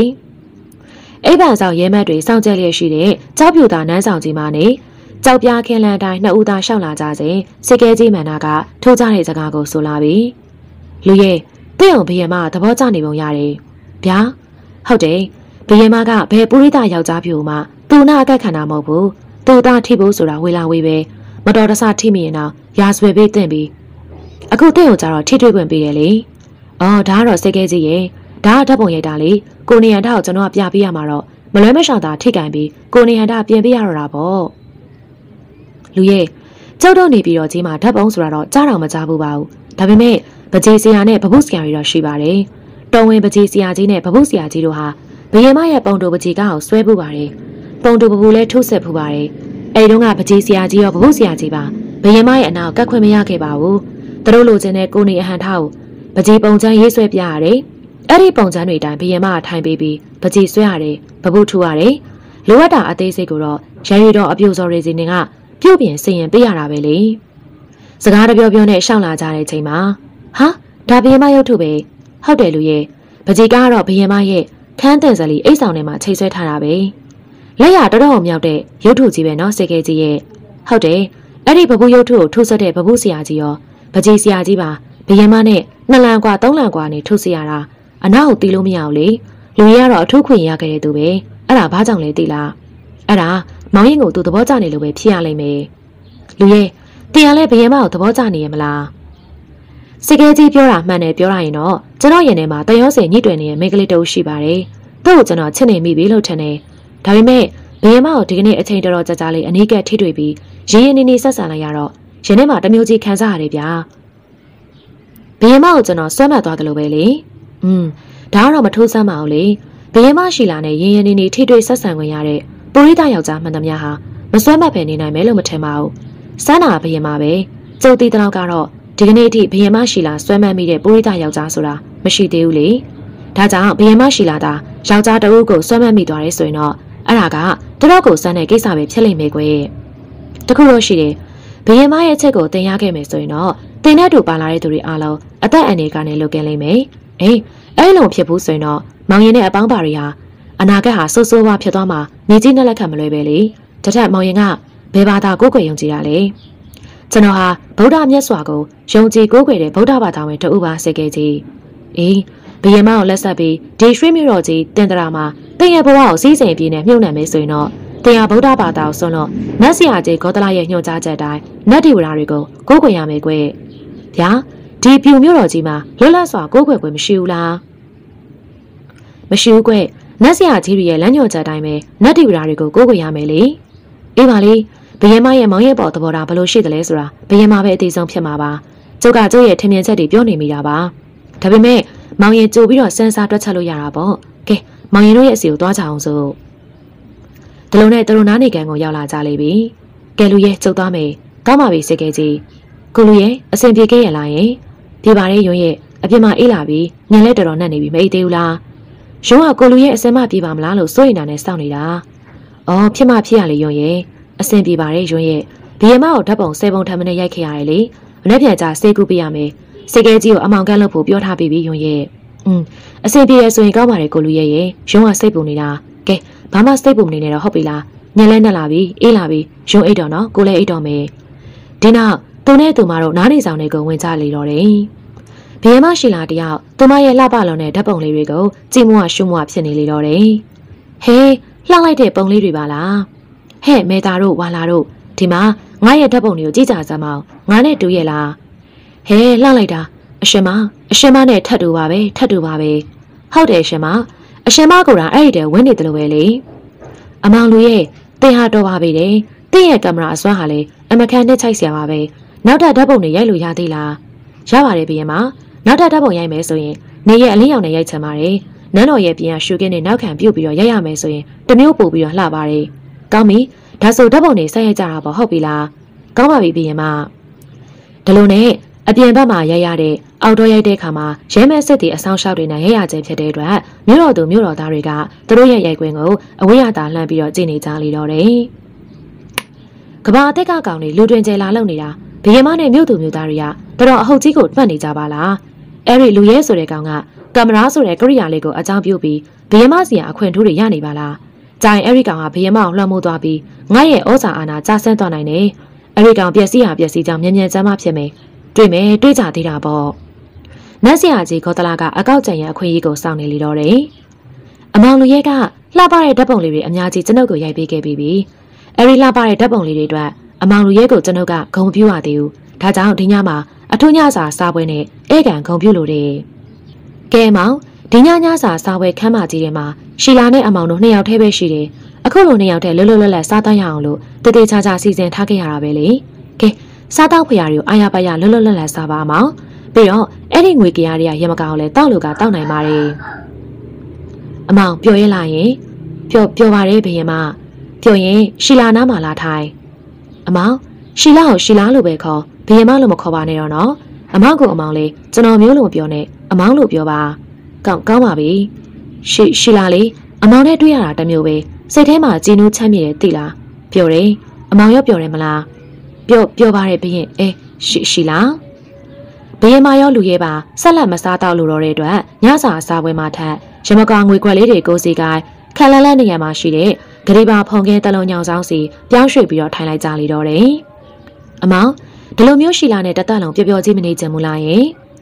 ဘဘယင်မရဲ့မုန်းတဲ့စကားတန်လေးတွေကလူရဲရဲ့နားတွေကိုတကားရည်နဲ့ချုံမြိန်စိတ်ဝင်သွားလိတော့တယ်။ဘယင်မကိုလက်ဆက်ပြီးတော့ဒေရွှေမတော်ကြီးတင်တရာမှာတင့်ရဲ့ဘဝကိုစီးစိမ်ပြင်းနဲ့မြုပ်နှံမယ်ဆိုရင်တော့ တင်ဟာဗုဒ္ဓဘာသာကိုဆွန့်လွတ်ပြီးနတ်ဆရာကြီးခေါ်တလာရဲ့ညွှန်ကြားချက်တိုင်းနတ်တိဝရတွေကိုကိုးကွယ်ရမယ်ကွ။အဲ့ဒီစကားတွေကိုကြားရောက်လာသည်မှာလူရဲကသူ့ရဲ့ဦးခေါင်းကိုခတ်ဖြည်းဖြည်းရန်လိုက်တော့တယ်။ဘာလဲအမောင်ကရှီလာနဲ့တလို့ပြောပြောကြီးမနေချင်မှုပေါ့လေဟုတ်လား။ရှီလာဘာလဲအမောင်ရှီလာနဲ့အခုလိုပြောပြောကြီးတတလုံးနေသွားဖို့ဆိုရင်အမောင်ဘက်ကအင်မတန်ကိုကြီးမားတဲ့ဆွန့်လွတ်မှုကြီးနှစ်ခုကိုဆွန့်လွတ်ရလိမ့်မယ်။ဘယ်ဘလို့ဆွန့်လွတ်မှုမျိုးလဲအမောင်။ ပထမဆွလုံးမှုကြီးကတော့အမောင်ဟာသိပ္ပံပညာတအားကိုထုံကားပြီးခက်မိတဲ့လူနေမှုစနစ်ရှိရာခက်တဲ့ကဘာကြီးကိုဆွလွန်ရလိမ့်မယ်လေဒုတိယဆွလုံးမှုကြီးကတော့အမောင်ကိုးကွယ်ယုံယုံကြည်တဲ့မြတ်ဗုဒ္ဓရဲ့အယူဝါဒတွေကိုဆွလွန်ဗုဒ္ဓဘာသာဝင်အဖြစ်ကနေနှုတ်ထွက်ရလိမ့်မယ်အဲအဲ့ဒါတော့ဟုတ်တယ်မောင်အဲ့ဒီဆွလုံးမှုကြီးနှစ်ခုဟာပထမဆွလုံးမှုကြီးကိုဆွလွန်ဖို့ရအပန်းမကြီးလာပေမဲ့ဒုတိယဆွလုံးမှုဖြစ်တဲ့ဗုဒ္ဓဘာသာဝင်ဖြစ်ကဆွလွန်ဖို့ဆိုတာလုံးဝမဖြစ်နိုင်ပါဘူးရှိလားရဲ့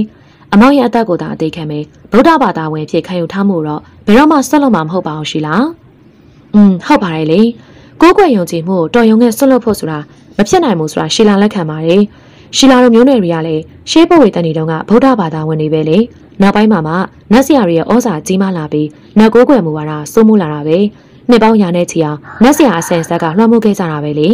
။ဗုဒ္ဓဘာသာရဲ့အကြောင်းကိုရောရှီလာသိသလား။ တဆင်စကားနဲ့ရှီလာကြားဖို့ရုံပဲကြားဖို့ပါတယ်ဂါဂနာနာတော့မသိပါဘူး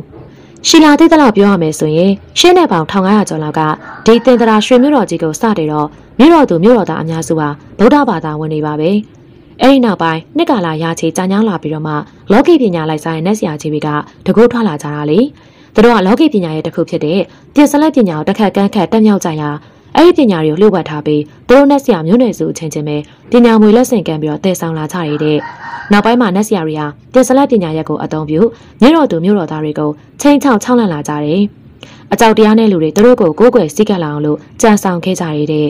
ပြင်ပကဘာနဲ့အဆက်အသွယ်ဖြတ်ထားတဲ့အတွက်မြို့တော်သူမြို့တော်သားတွေဟာအကြမ်းမြင်နေပြီးနတ်ဆရာကြီးတွေပြောသမျှယုံကြည်လာကြပြီ။အဲဒီလိုနဲ့နတ်ဆရာကြီးတွေဩဇာညောင်းလာကြတော့တာပဲ။ သူတို့ကနတ်ကိုးကွယ်မှုခက်စားလာအောင်လို့ကြံဆောင်ခဲ့ကြပြီးတော့ဗုဒ္ဓဘာသာကွယ်ပြောင်းလုပ်ခဲ့ကြရလေ။ဘာသာရေးအဆောက်အဦဖျားပထိုးတွေကိုဖျက်ဆီးတဲ့ဘာသာရေးစာပေထောက်ထားတွေအားလုံးကိုမိရှို့ဖျက်ဆီးပစ်ခဲ့ကြတာ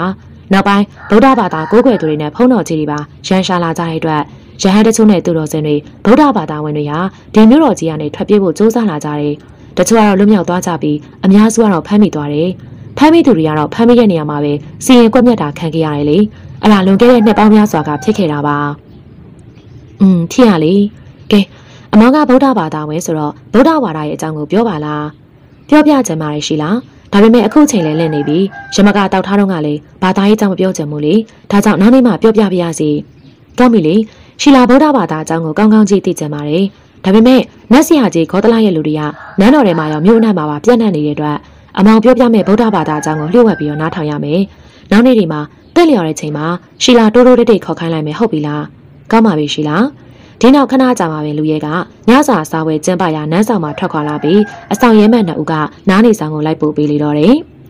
နောက်တနေ့ညီလာခံပြီးတဲ့နောက်ဘယင်မရှိလာကသူမရဲ့နားနေဆောင်ရှိတလွန်ညောင်ဆောင်ထပ်မှာဘေးတစောင်းလေးလျက်ပြီးရန်ရီတော်ရဲ့နှိမ့်နယ်မှုကိုခံယူနေစဉ်နန်းတော်တွေကိုတကားမရှိဓာမရှိဝင်ထွက်ခွင့်ရတဲ့နတ်ဆရာကြီးကောတလာကဝင်လာပြီး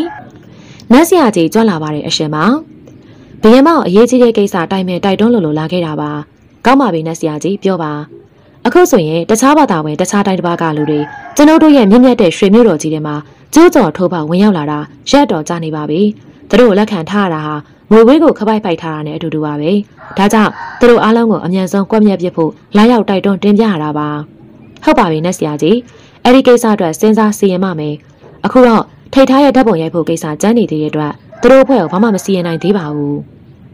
ကျင်းတဲ့ပုံတော့မပေါ်ပါကြီး။သူကချက်ချင်းပဲနှုတ်ဆက်ကာရမပြုတောင်ဝေးကိုတတောက်တောက်ထောက်နန်းတော်ကြီးထဲမှာထွက်သွားလေတော့တယ်။နောက်နေ့နေ့လည်ပင်မှာပဲစိတ်ကဲကြီးမန္နာကနားနေဆောင်ကိုလာရောက်ပြီးလူရဲကိုခေါ်ကနန်းတော်ကြီးစီကိုသွားကြလေတော့တယ်။ကဲမောင်အမောင်ကိုးကွယ်တဲ့ဗုဒ္ဓဘာသာရဲ့အကြောင်းကိုပြောပြစမ်းပါရှီလာကြားကြလာပြီ။အဲဒီလိုပြောတဲ့အတွက်လူရဲကဗုဒ္ဓဘာသာနဲ့ပတ်သက်တဲ့အကြောင်းအရာတွေကိုရှင်းလင်းပြောပြလိုက်လေတော့တယ်။ဒီပြူမျိုးတော်ကနေအမြန်ဆုံးထွက်ခွာဖို့အသင့်ပြင်ထားဖို့လူရဲကပြောလေတယ်။ မင်းတို့ရောဘလို့သဘောရလဲနောက်နေနေ့လေကမနက်စာစားပြီးချိန်မှာဖြစ်ပြီးတယ်လက်ကျန်ဓာတ်ပုံတွေကိုကိုစိတ်ရန်အတွက်အမောင်ကန်ပြုတ်လုပ်ထားတဲ့အဆောင်လေးထဲမှာလူရဲ Professor ဦးညွန့်နိုင်နဲ့ရုံးမိမိတို့ရှင်းနေကြစဉ်ဖေအောင်ကသူ့ရဲ့တပည့်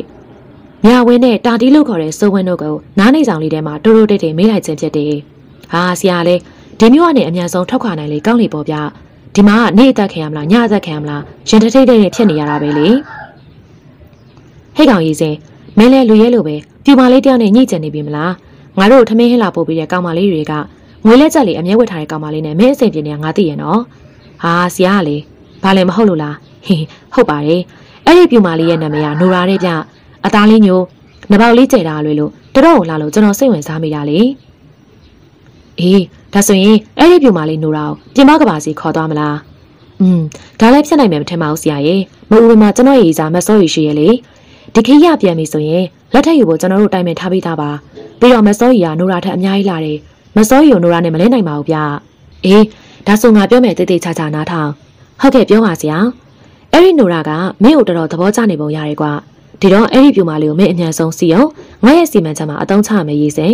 ဗျာဆရာရဲ့စီမံချက်ကဘာလဲဒီမှာကွငါဒီခရီးကိုငွေကုန်ကြေးကြခံထွက်လာတာရည်ရွယ်ချက်တစ်ခုရှိရသေးလားပထမရည်ရွယ်ချက်ကတော့ဒီခရီးဟာ သူတည်တနာခရီးတစ်ခုဖြစ်နေပဲအဆုံးသတ်သွားမယ်ဆိုရင်မျောလင်ထားသလိုပြူမဟောင်းကိုတွေ့သည်ဖြစ်စေမတွေ့သည်ဖြစ်စေခရီးစဉ်ပြီးဆုံးတာနဲ့အန်ကယ်ဦးညွန့်လိုင်ကလေးပေးထားတဲ့အတိုင်းရုံးမိမိနဲ့ကလက်ထပ်ခွင့်ရမယ်ရုံးမိမိဟာမဲမချောင်မဲမလာလေးပဲလေနိုင်ငံခြားနေဆရာဝန်ဘွဲ့ရထားတဲ့သူဦးပိုင်အိမ်ပိုင်ရှိတဲ့ပြင်သူ့ရဲ့ဖေအန်ကယ်ဦးညွန့်လိုက်ရလဲဂုံတိတ်ခါရှိတဲ့လူကြီးလူကောင်တယောက်ဒီတော့ရုံးမမီယာငါအတွက်မလောက်စရာပဲဒါကြောင့်ဒီခီးအတွက်ကုန်ကြစည်တွေကိုငါရင်းလိုက်တာပဲလေအေးငါရဲ့ဒုတိယရွယ်ချက်က တကယ်လို့ရှေးအောင်ပြမျိုးတော်ကြီးကိုရှာတွေ့ခဲ့မယ်ဆိုရင်ရှေးအောင်မျိုးရဲ့ထုံးစံတိုင်းရှေးအောင်ရတနာပစ္စည်းတွေရှိနိုင်တယ်လို့ငါမှန်းဆမိတယ်ဒါကြောင့်ဒီခီးဟာရတနာတိုက်တစ်ခုကိုရှာဖွေတွေ့ရှိတဲ့ခီးမျိုးလေးဖြစ်သွားနိုင်တာပဲအဲ့လိုဆိုရင်တော့တားရွှေကိုထမ်းလာတဲ့ကိန်းလို့ရှင်းအောင်ရတနာတွေလည်းငါတို့ရမယ်ရုံးမမီကိုလည်းငါပိုင်ဆိုင်ရမယ်အဲ့ဒါငါရဲ့ဒုတိယရွေချက်ပဲ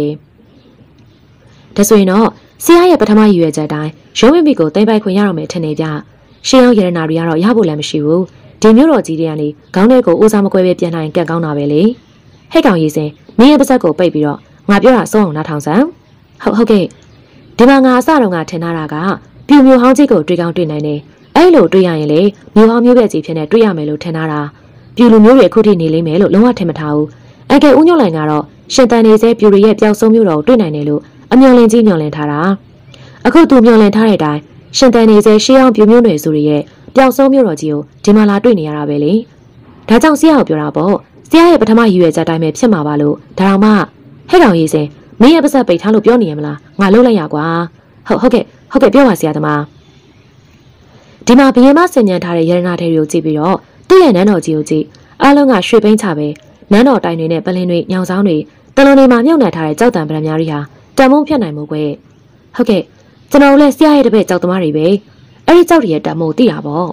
အေးဒီတော့ဒီပြူမျိုးတော်မှာတံမုံကြီးတဲ့ကြောက်တံပရံများရတနာတွေအများကြီးရနိုင်တယ်ကွယ်အဲ့ဒီရတနာတွေတည်းကတော်တော်များငါတို့ရအောင်ယူကြမယ်ဟာဆရာအဲ့ဒါဆိုရင်နန်းတော်တိုင်တွေပလင်တွေတလွန်တွေကကြောက်တွေကိုလိုက်ပြီးတော့ခွာမလို့လားမဖြစ်ဘူးထင်တယ်နော်မင်းတို့ကတော့သေးတော့မှာပဲဒီမှာငါပြောတာနားထောင်စမ်းဒီပြူတွေမှာရတနာစိန်ကြောက်တွေအများကြီးရှိမှတေးကြရဲကွာအဲ့ဒါတွေကိုဘယ်မှာထားတယ်ဘယ်မှာရှိတယ်လဲဆိုတာသိရအောင်လို့ရေစင်ကနိုရာကိုစီးအောင်ပြီးတော့ခြုံပြီး သူတို့ရဲ့လျှို့ဝှက်ချက်တွေကိုခြုံပြီးအဲ့ဒီရတနာတွေကိုသိရပြီဆိုရင်ငါတို့မရရအောင်ယူဒီမျိုးကနေလက်ပြေးကြမယ်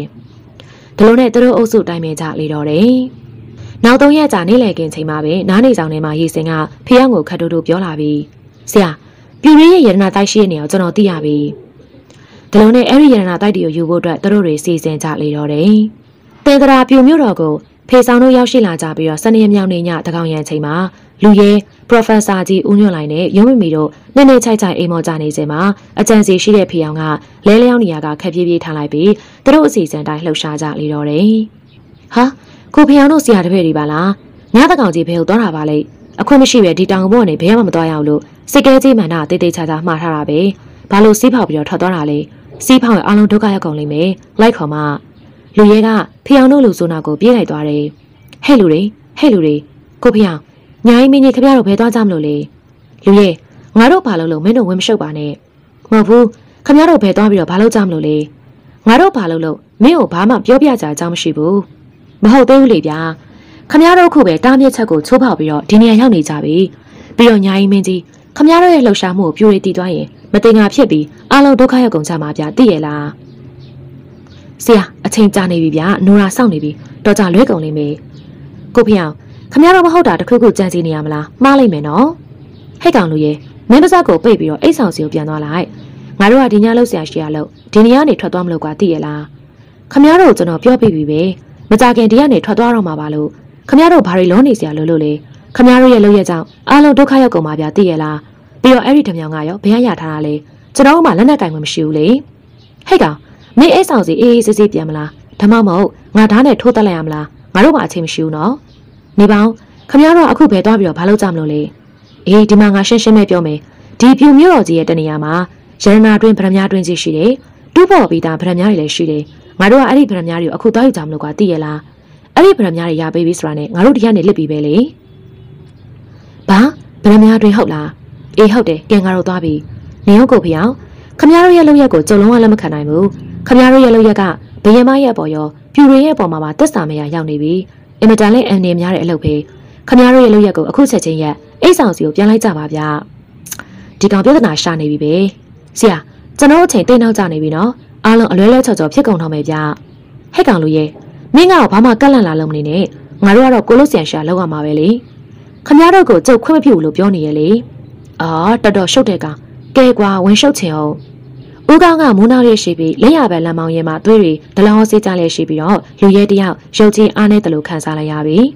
သူရှိမှမမကြီးရဲ့နေသူတို့ကိုမမျော်လင့်ပဲတွေ့လိုက်ရတာ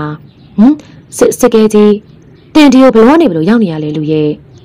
လူရဲ့တင်းရဲ့လက်မောင်းမှာလဲဒဏ်ရာကြီးနေပါလားဘာဘာဖြစ်တာလဲအဲ့ဒီမှာလူရဲကသူ့ကြုံတွေ့ခဲ့ရတဲ့ကိစ္စတွေကိုအမှန်တိုင်းပြောပြလိုက်တော့တယ်လူရဲစကားဆုံးတဲ့အချိန်မှာတော့စကဲကြီးမျက်နှာမှာကြောက်ဆိုင်ကြောက်သားလိုမျိုးတင်းမာသွားလေတော့တယ် အကြံပတ်ဆက်လိုက်ပါပြီတစ်စပေါင်းမှာနိုရာနဲ့ပေါင်းပြီးတော့ကြမ်းကြတာပေါ့လေမဖြစ်ဘူးဒင်းတို့အကြံမဥရအောင်ဒင်းတို့ရဲ့နောက်ကိုကျုပ်လိုက်သွားမယ်ကျုပ်ကျုပ်လဲလိုက်မယ်စကဲကြီးတင်မလိုက်ပါနဲ့တင့်တရာတွေးရတာထွက်နေတယ်တင်းတို့ရဲ့နားနေဆောင်စီပဲပြန်သွားတင်းတို့နဲ့တူပါလာတဲ့စေသမားတော်လေးကိုဒဏ်ရာသက်တာလောက်ခိုင်းလိုက်ပါကျုပ်ဖဲလိုက်သွားမယ်ဟုတ်ကြောက်သားလေကတစ်တရာတက်သွားလိုက်ပါထောက်ကောင်းပါပြီကျုပ်နားနေဆောင်စီပြန်ပါမယ်ဟိုလူတွေပြစ်မှုကြီးမကျွန်းလို့မရအောင်သာစိတ်ကဲကြီးကတားပေးပါ ဒီနောက်မှာတော့သူတို့အုပ်စုကလည်းနိုရာနဲ့တွေ့ပြီးတော့လိုက်သွားကြလေတော့တယ်စိတ်ကဲကြီးတို့ကလည်းနိုရာနောက်ကိုလိုက်သွားပြီဆရာနိုရာအဆောင်တွေကိုရှင်းပလိုက်ဖို့ပြောနေပြီရေစင်ကခတ်တိုးတိုးနဲ့ပြောလိုက်ရဖေအောင်ကဓမြောင်ကိုတင်းတင်းစုပ်ကိုင်းရင်းနဲ့အဆောင်ရဲမက်တွေရဲ့နောက်ကျောဘက်စီချင်းကပ်သွားရာအဆောင်ရဲမက်နှစ်ယောက်ကိုကိစ္စတုံးစီရင်လိုက်တယ်ဟာဗရမများတွေအများကြီးပါလားကျွန်တော်တို့တော့ပွားပြီဆရာကြီးခဲခဲဟဲ့ကောင်လေး အဲ့ဒီအရင်တုံးတွေတည်းကအရေးသွေးကောင်းတဲ့ကြောက်တွေကိုရွေးပြီးတော့ရသလောက်တဲသွားကြမယ်လှုပ်လှုပ်လှုပ်မြင်မြန်လှုပ်ကြဟဲ့ကောင်လေးမြင်မြန်လှုပ်ကြအချိန်ဆွဲနေနဲ့ဗရမများတွေယုံငင်နေစင်ပါပဲစိတ်ငြိမ်နေတဲ့ညဉ့်ရံကိုထွင်းဖောက်ရုပ်ကြီးထွက်ပေါ်လာတဲ့ခရမုတ်တန်တွေကြောင့်ဖျောင်တို့လူစုမှာထဲထဲပြပြဖြစ်သွားကြလိမ့်ပြီဟာဟဲ့ကောင်တွေဒီကနေမြင်မြန်ထွက်မှာဖြစ်တော့မယ်လာလာလာဟာငါတို့ရလို့ရက်ကိုတိပြီးတော့ပြူတွေဝင်လာကြတော့မယ်လာလာတောင်ကပြန်ကိုတွဲတက်ပြီးတော့ပြေးကြမယ် ဖျောင်ကဥစွာကျိုးကိုဆွဲခုပြီးတော့ကြောက်သားနေရန်ကိုခြေကန်တက်ကျိုးကိုအားဆွဲပြလိုက်တဲ့အခါကျိုးတစ်ခွေလုံးအောက်ကိုထွေးလုံးရစ်ပတ်ပြီးတော့ကျလာပြီဒုက္ခပါပဲအပေါ်နေတယောက်ကငါတို့စင်းခဲ့တဲ့ကြိုးဖျက်ချလိုက်ပြီကွာဘယ်လိုလုပ်ကြမလဲဆရာရန်သူတွေကိုဝိုင်းကြမိအောင်ဖမ်းကြမလို့စိန်နဲ့ဟေးဒါအပြင်ဗရမ ्या ကြောက်တွေတူလောင်ထားရာကြောက်ဖြူသားအစာအုပ်လေးရဲ့တကားဟင်းလင်းပွင့်နေတာကိုတွေ့သွားကြရာပုံမဒေါသထွက်သွားကြပြီရှာကြစံ တရေပေါ်အိတ်တရေနာစားတဲ့မိစ္ဆာကောင်တွေအသေးတက်ပြစ်ကြဒေါသကြီးနေတဲ့ပြူစစ်တီတွေကအတင်းဝင်ရောက်တိုက်ခိုက်ကြရာဖျောင်တို့စီရတပည့်သုံးဦးတို့လည်းအစွမ်းကုန်ပြန်လဲတိုက်ခိုက်ခုခံကြလေတယ်မကြခင်မှာပဲဖျောင်တို့လူစုမှာတရားသေးသေးရသွားပြီးမြေပြင်ပေါ်မှာသွေးတန်ရည်ရဲနဲ့လဲကျသွားလိပြီဟေ့ရက်လိုက်ကြစံရာဇဝတ်သားတွေကိုအရှင်လက်ရဖမ်းဆီးလိုက်ကြမနက်လွယုံတော်ကြမှာဘယင်မကအပြစ်ပေးစီရင်လိုက်မယ်အဲဒီလိုအမိန်ပေးလိုက်တဲ့သူကတော့စိတ်ကဲကြီးမာနပင်ဖြစ်ပေးလိတော့တယ် အမိန်တော်ချမှတ်မယ်နာခံစီမင်းညဖြစ်ပွားခဲ့တဲ့အမှုကိစ္စမှာအဓိကတာဝန်ရှိတဲ့သူဟာတရားခံမနိုရာပဲဖြစ်တယ်ကျွန်ုပ်တို့ရဲ့တင်တရာရွှေမြို့တော်ကြီးတစ်ခုလုံးကအထွတ်မြတ်ထားတဲ့ဗရမ ्या တောင်ကြားတွေကိုဝိသမလောဘသားတွေခေါ်သွားခဲ့တာသူတို့ကိုဓာတ်တလက်ကိုထုတ်ပေးခဲ့တာကျွန်ုပ်သိမ်းဆည်းထားတဲ့တော်ရဲတွေကိုခိုးယူပေးခဲ့တာတွေဟာဒင်းကျူးလွန်ခဲ့တဲ့အပြစ်တွေပဲဖြစ်တယ်။တရားခံဖီအောင်ရေစင်တဲ့တာတီးတို့ဟာလည်းတင်တရာရွှေမြို့တော်သူမြို့တော်သားတွေပိုင်တဲ့ဗရမ ्या ရတနာတွေကိုခိုးယူဖို့စ조사ခဲ့တဲ့ပြင် ကျွန်ုပ်တို့ရဲ့အဆောင်ရဲမှန်နှုတ်ကိုတပ်ဖြတ်ခဲ့ကြတယ်။ဒါကြောင့်တင်တရာမြို့တော်သူမြို့တော်သားတွေရဲ့စီကံစည်းမျဉ်းတွေကိုဖောက်ဖျက်ကျွန်ုပ်ရဲ့ထောက်ထားညတာမှုကိုမထေမဲ့မြင်အလွဲသုံးစားပြုတဲ့ဒန်းတရခံလေးဦးစလုံးကိုဒီကနေ့တောင်ဆယ်နေခွဲချိန်မှာကွက်မြက်စီဘယင်းမရှိလာရဲ့အမိန့်ချမှတ်တဲ့အဆုံးမှာဇောရကတက်တာတကူထွက်ပေါ်လာတယ်။အရှင်မကျွန်ုပ်ဂေါသလလျှောက်ထားလိုပါတယ်။ပြင်ပကဘာနဲ့ရောက်လာသူမှန်သမျှဟာကျုပ်တို့အတွက်လက်ခံယုံကြည်ထိုက်သူတွေမဟုတ်ကြောင်းကိုအခုဖြစ်စဉ်ကမိမောင်းထိုးပြနေပါတယ်ရှင်မ။ဒါကြောင့် အခုတရခံတွေနဲ့အတူတိုင်းကြားရောက်ရှိလာကြတဲ့လူရဲတို့သုံးဦးစလုံးကိုပါရှင်းလင်းတောက်တန်တင်ပါတယ်ရှင်မ။တိုင်းကြားပြည်သားတွေကိုလက်ခံထားတာကမွေဝေးခပတ်ကြိုက်ထားသလိုဖြစ်နေပါပြီ။ဒါကြောင့်ဒင်းတို့သုံးဦးစလုံးကိုပါတေတံချမှတ်ဖို့တောင်းဆိုပါတယ်။နက်ဆရာကြီးယခုဖြစ်ရမှာအမောင်လူရဲတို့သုံးလုံးဝမပါဝင်ကြောင်းတရခံဖြစ်သူနိုရာနဲ့ဖီအောင်တာတီရေစင်တို့ထွက်ဆိုထားပြီးဖြစ်တယ်။အဲ့ဒါအပြင်စိတ်ကဲကြီးမန်တာကလည်းတရခံဖီအောင်တို့ရဲ့လုပ်ရမှာမောင်လူရဲတို့မပါဝင်တဲ့ပြင် မောင်လူရဲကြောင့်လည်းတရခံတွေကိုအချိန်မီလက်မတင်လေးဖမ်းဆီးရမိလိုက်ခြင်းဖြစ်တယ်လို့ထွက်ဆိုထားတယ်။ဒါကြောင့်အမောင်လူရဲတို့သုံးဟာဘလို့ပြစ်မှုမျိုးမှကျူးလွန်မှုမရှိခဲ့တဲ့အတွက်သူတို့ကိုအပြစ်ပေးအေးအေးယူခြင်းပြုလုပ်နိုင်ပါဘူး။သူတို့ကိုကျွန်ုပ်ရဲ့ဧည့်သည်တော်တွေဖြစ်ဆက်လက်ထားရှိစေမှာဖြစ်ပါတယ်။အဲလိုယတိပြမိန်ကြပြီးရနောက်ဘယင်မရှိလာကရာဇပလင်ပေါ်ထိုင်နေရမှထနောက်ဖက်ဆောင်စီထွက်သွားခဲ့လေတော့တယ်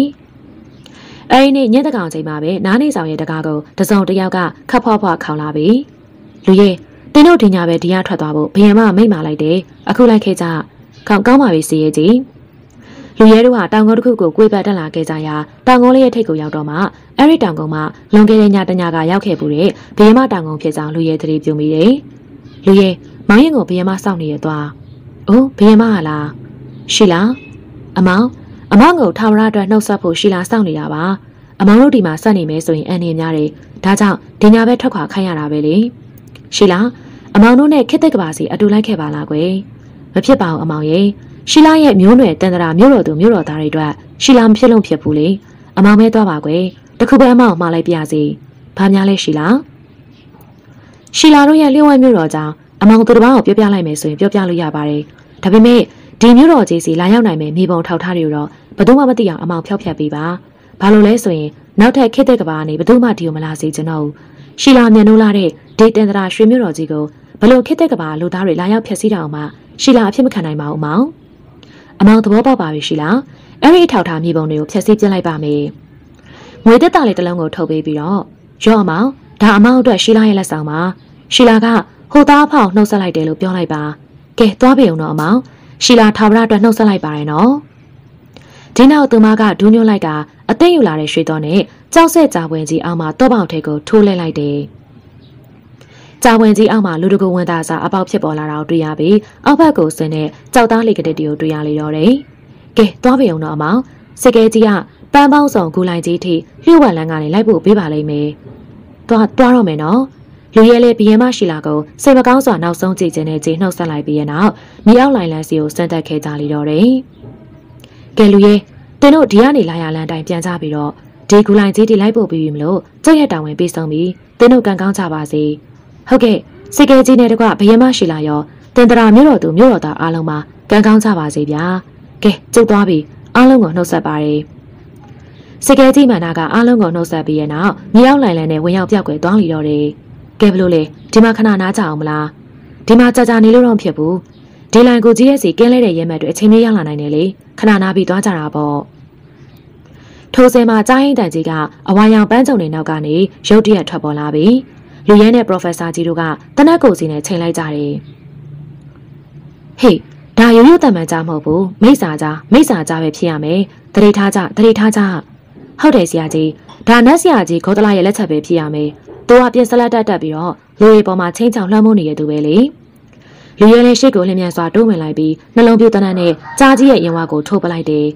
အနိကပြက်လိုက်ခြင်းဖြစ်တဲ့အတွက်ဒီတစ်ခါမှာတော့ပြစ်မှတ်ကိုတဲ့တဲ့ကြီးထိမှန်သွားတယ် ကြားကြီးကနာကျင်စွာအော်ဟစ်လိုက်ပြီးပန်းယုံပေါ်လွှင့်ကျသွားတာငိမ့်ကြသွားပြီးတဲ့နောက်ချက်ချင်းဆိုသလိုပင်ကြားကြီးရဲ့အတွင်ကနေလူတယောက်ရဲ့အတွင်ကိုတဖြည်းဖြည်းပြောင်းသွားတာကိုအံ့ဩဖွယ်တွေ့ရတော့တယ်။နောက်ဆုံးမှအဲ့ဒီတရံကဝိယုံနယ်ကြီးဝတ်ထားတဲ့နတ်စီယာကြီးခေါ်တလာဖြစ်သွားလေတော့တယ်။လူရဲတို့ကလာရလန်းတိုင်းဂိုလိုင်လန်းတွေကနေရက်တန်ကြအောင်လို့ဖြတ်တန်းလာကြပြီးတဲ့နောက်မှာတော့တခုသောမွန်းတဲ့ချိန်မှာမူလဝင်ရောက်ခဲ့ရလှိုင်ကိုဝါစီကိုအောင်မြင်ဘေးကင်းစွာနဲ့ပြန်လည်ရောက်ရှိသွားလိမ့်ပြီ။ တင်တရာမြို့တော်သွားရလမ်းပြမြေပုံပါရှိတဲ့ကျေးပရပိုင်စာတွေကိုဘယ်သူမှမမြင်အောင်ချောင်းထဲကိုတစားစီပြစ်ချပြီးတော့ဖျောက်ဖျက်ပြလိုက်တော့တယ်။ဒထန်းသုံးပင်ဖိုကလောက်ဆိုင်ရာနေရာကိုပြင်ရောက်ပြီးရွက်ပြန်တဲတွေထိုခိတစခန်းချရန်နာနေတဲ့လူရဲ professor ကြီးနဲ့ရုံးမမီတို့ရှိမှာပဲဘယင်းမရှိလာပေးလိုက်တဲ့လက်စာငွေတက်တာလေးကိုတော့ဖြုတ်ဖွင့်လိုက်ရာတက်တာလေးနဲ့ပြေရွှေငွေကြောက်တံပရများလက်ဝတ်ရတနာတွေကိုတွေ့ရလေတော့တယ်ဟာရတနာတွေရတနာတွေပါလား ကဲကျွန်တော်တို့ပျောက်ဆုံးမျိုးတော်စီစွန်စားတွားရောက်ခဲ့ရကြုံနှက်ပြီလို့သာမှတ်လိုက်ပြီတော့ဆရာကြီးอืมကြောက်မြောင်လင်ထားခဲ့တဲ့အတိုင်းပျောက်ဆုံးမျိုးတော်ဖြစ်တဲ့တန်တရာဆိုတဲ့ပြူမျိုးတော်ကြီးကိုတကယ်ပဲတွေ့ခဲ့ရပြီပြူဘရင်မှာပေးလိုက်တဲ့အဖိုးထရတနာတွေရခဲ့လို့ကျုပ်တို့ရဲ့ခီးစဉ်ဟာအင်မတန်အောင်မြင်တယ်လို့ပြောရမှာပဲမောင်လူရဲ့ဒါပေမဲ့ကျုံမိတ်ဆွေရဲ့သားမောင်ဖီအောင်နဲ့သူတပည့်နှစ်ယောက်ရဲ့အသက်ကိုစတေးခဲ့ရတဲ့အတွက်တော့စိတ်မကောင်းဖြစ်ရမိတယ်ကွယ်။အိုးဒါကတော့ဖေဖေကလည်းကိုဖီအောင်တို့ကသူတို့ရဲ့အကုသိုလ်ကံကြောင့်သူတို့တလူဖြစ်သွားကြရတာပဲ စိတ်မကောင်းဖြစ်မနေပါနဲ့ဖေဖေပဲစဉ်းစားကြည့်လေသူတို့ရဲ့တကူကောင်းဆန်တဲ့အကြံစီအောင်မြင်ပြီးသူတို့သာတင်္ဒရာမြို့တော်ကနေထွက်ပြေးလွတ်မြောက်သွားမယ်ဆိုရင်ဘုံမတိဘာမတိကြံရိတ်ခဲ့တဲ့တမီးတို့၃ယောက်ရဲ့ကံကြမ္မာမတွေးဝဲစရာပဲမဟုတ်ဘူးလား။อืมတမီးပြောတာဟုတ်ပါတယ်ဒီလိုဆိုရင်တော့ပြူရီဟာဖေဖေတို့ကိုခွင့်လွှတ်မှာမဟုတ်ဘူးလေဖေဖေတို့အဆုံးစီရင်ခံကြရမှာပဲ။တမီးတို့အဲ့လောက်တကူကောင်းဆန်ပြီးတော့အတ္တကြီးတဲ့ကိုဖီအောင်လိုလူမျိုးနဲ့ဖူးစာမစုံရတာပဲကံကောင်းတယ်လို့မှတ်ပါတယ်ဖေဖေရဲ့။ Professor ကြီးဦးညွန့်လိုင်ကကိုအင်းကြီးအောက်အိတ်ထဲမှာဆေးပင်းလက်ကြီးကိုထုတ်ပစောင်တွင်းမှာခဲလိုက်ပြီးတဲ့နောက်တမီးဖြစ်သူကိုပြုံးပြုံးကြီးကြီးမေကွန်းထုတ်တော့တယ်။ဒါဆိုတမီးကဘလို့လူမျိုးနဲ့ဖူးစာဆုံးအောင်မှာကံကောင်းတယ်လို့မှတ်ယူရမှာလေကွယ်။မောင်လူရဲလူမျိုးသဘောပြူဦးစင်လူလင်ပြုံမျိုးနဲ့မှလားဟမ်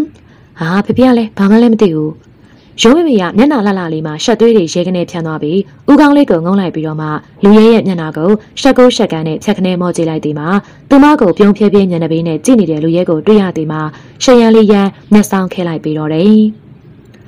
ဒီကနေ့ရဲ့ Ghost Story က channel ရနေထုံးလင်းတင်ဆက်ပေးခဲ့တာကတော့စာရေးသူစစ်တရအက်ကရေးသားထားတဲ့ပျောက်ဆုံးမြို့တော်ဆိုတဲ့စိတ်ဝင်စားပွဲဇလန်အစာဆုံးကိုထုံးလင်းတင်ဆက်ပေးခဲ့တာပါနောက်တစ်ခါတွေမှာဆိုရင်လေပရိသတ်တွေကြားနေတဲ့စိတ်ဝင်စားစေမယ့်ဇလန်အကြောင်းအရာတွေကိုဆက်လက်ရွေးချယ်ထုံးလင်းတင်ဆက်ပေးမှာဖြစ်တဲ့အတွက်စောင့်မျှော်ကြည့်ရှုအားပေးချစ်ခင်ကြပါအောင်လို့ပြောကြရင်းနဲ့ဒီကနေ့စီစဉ်နဲ့နှုတ်ဆက်ပေးရစီချစ်ခင်ပေးလို့ကျေးဇူးပါပြန်လည်ဆောင်တွေ့ကြမယ်နော်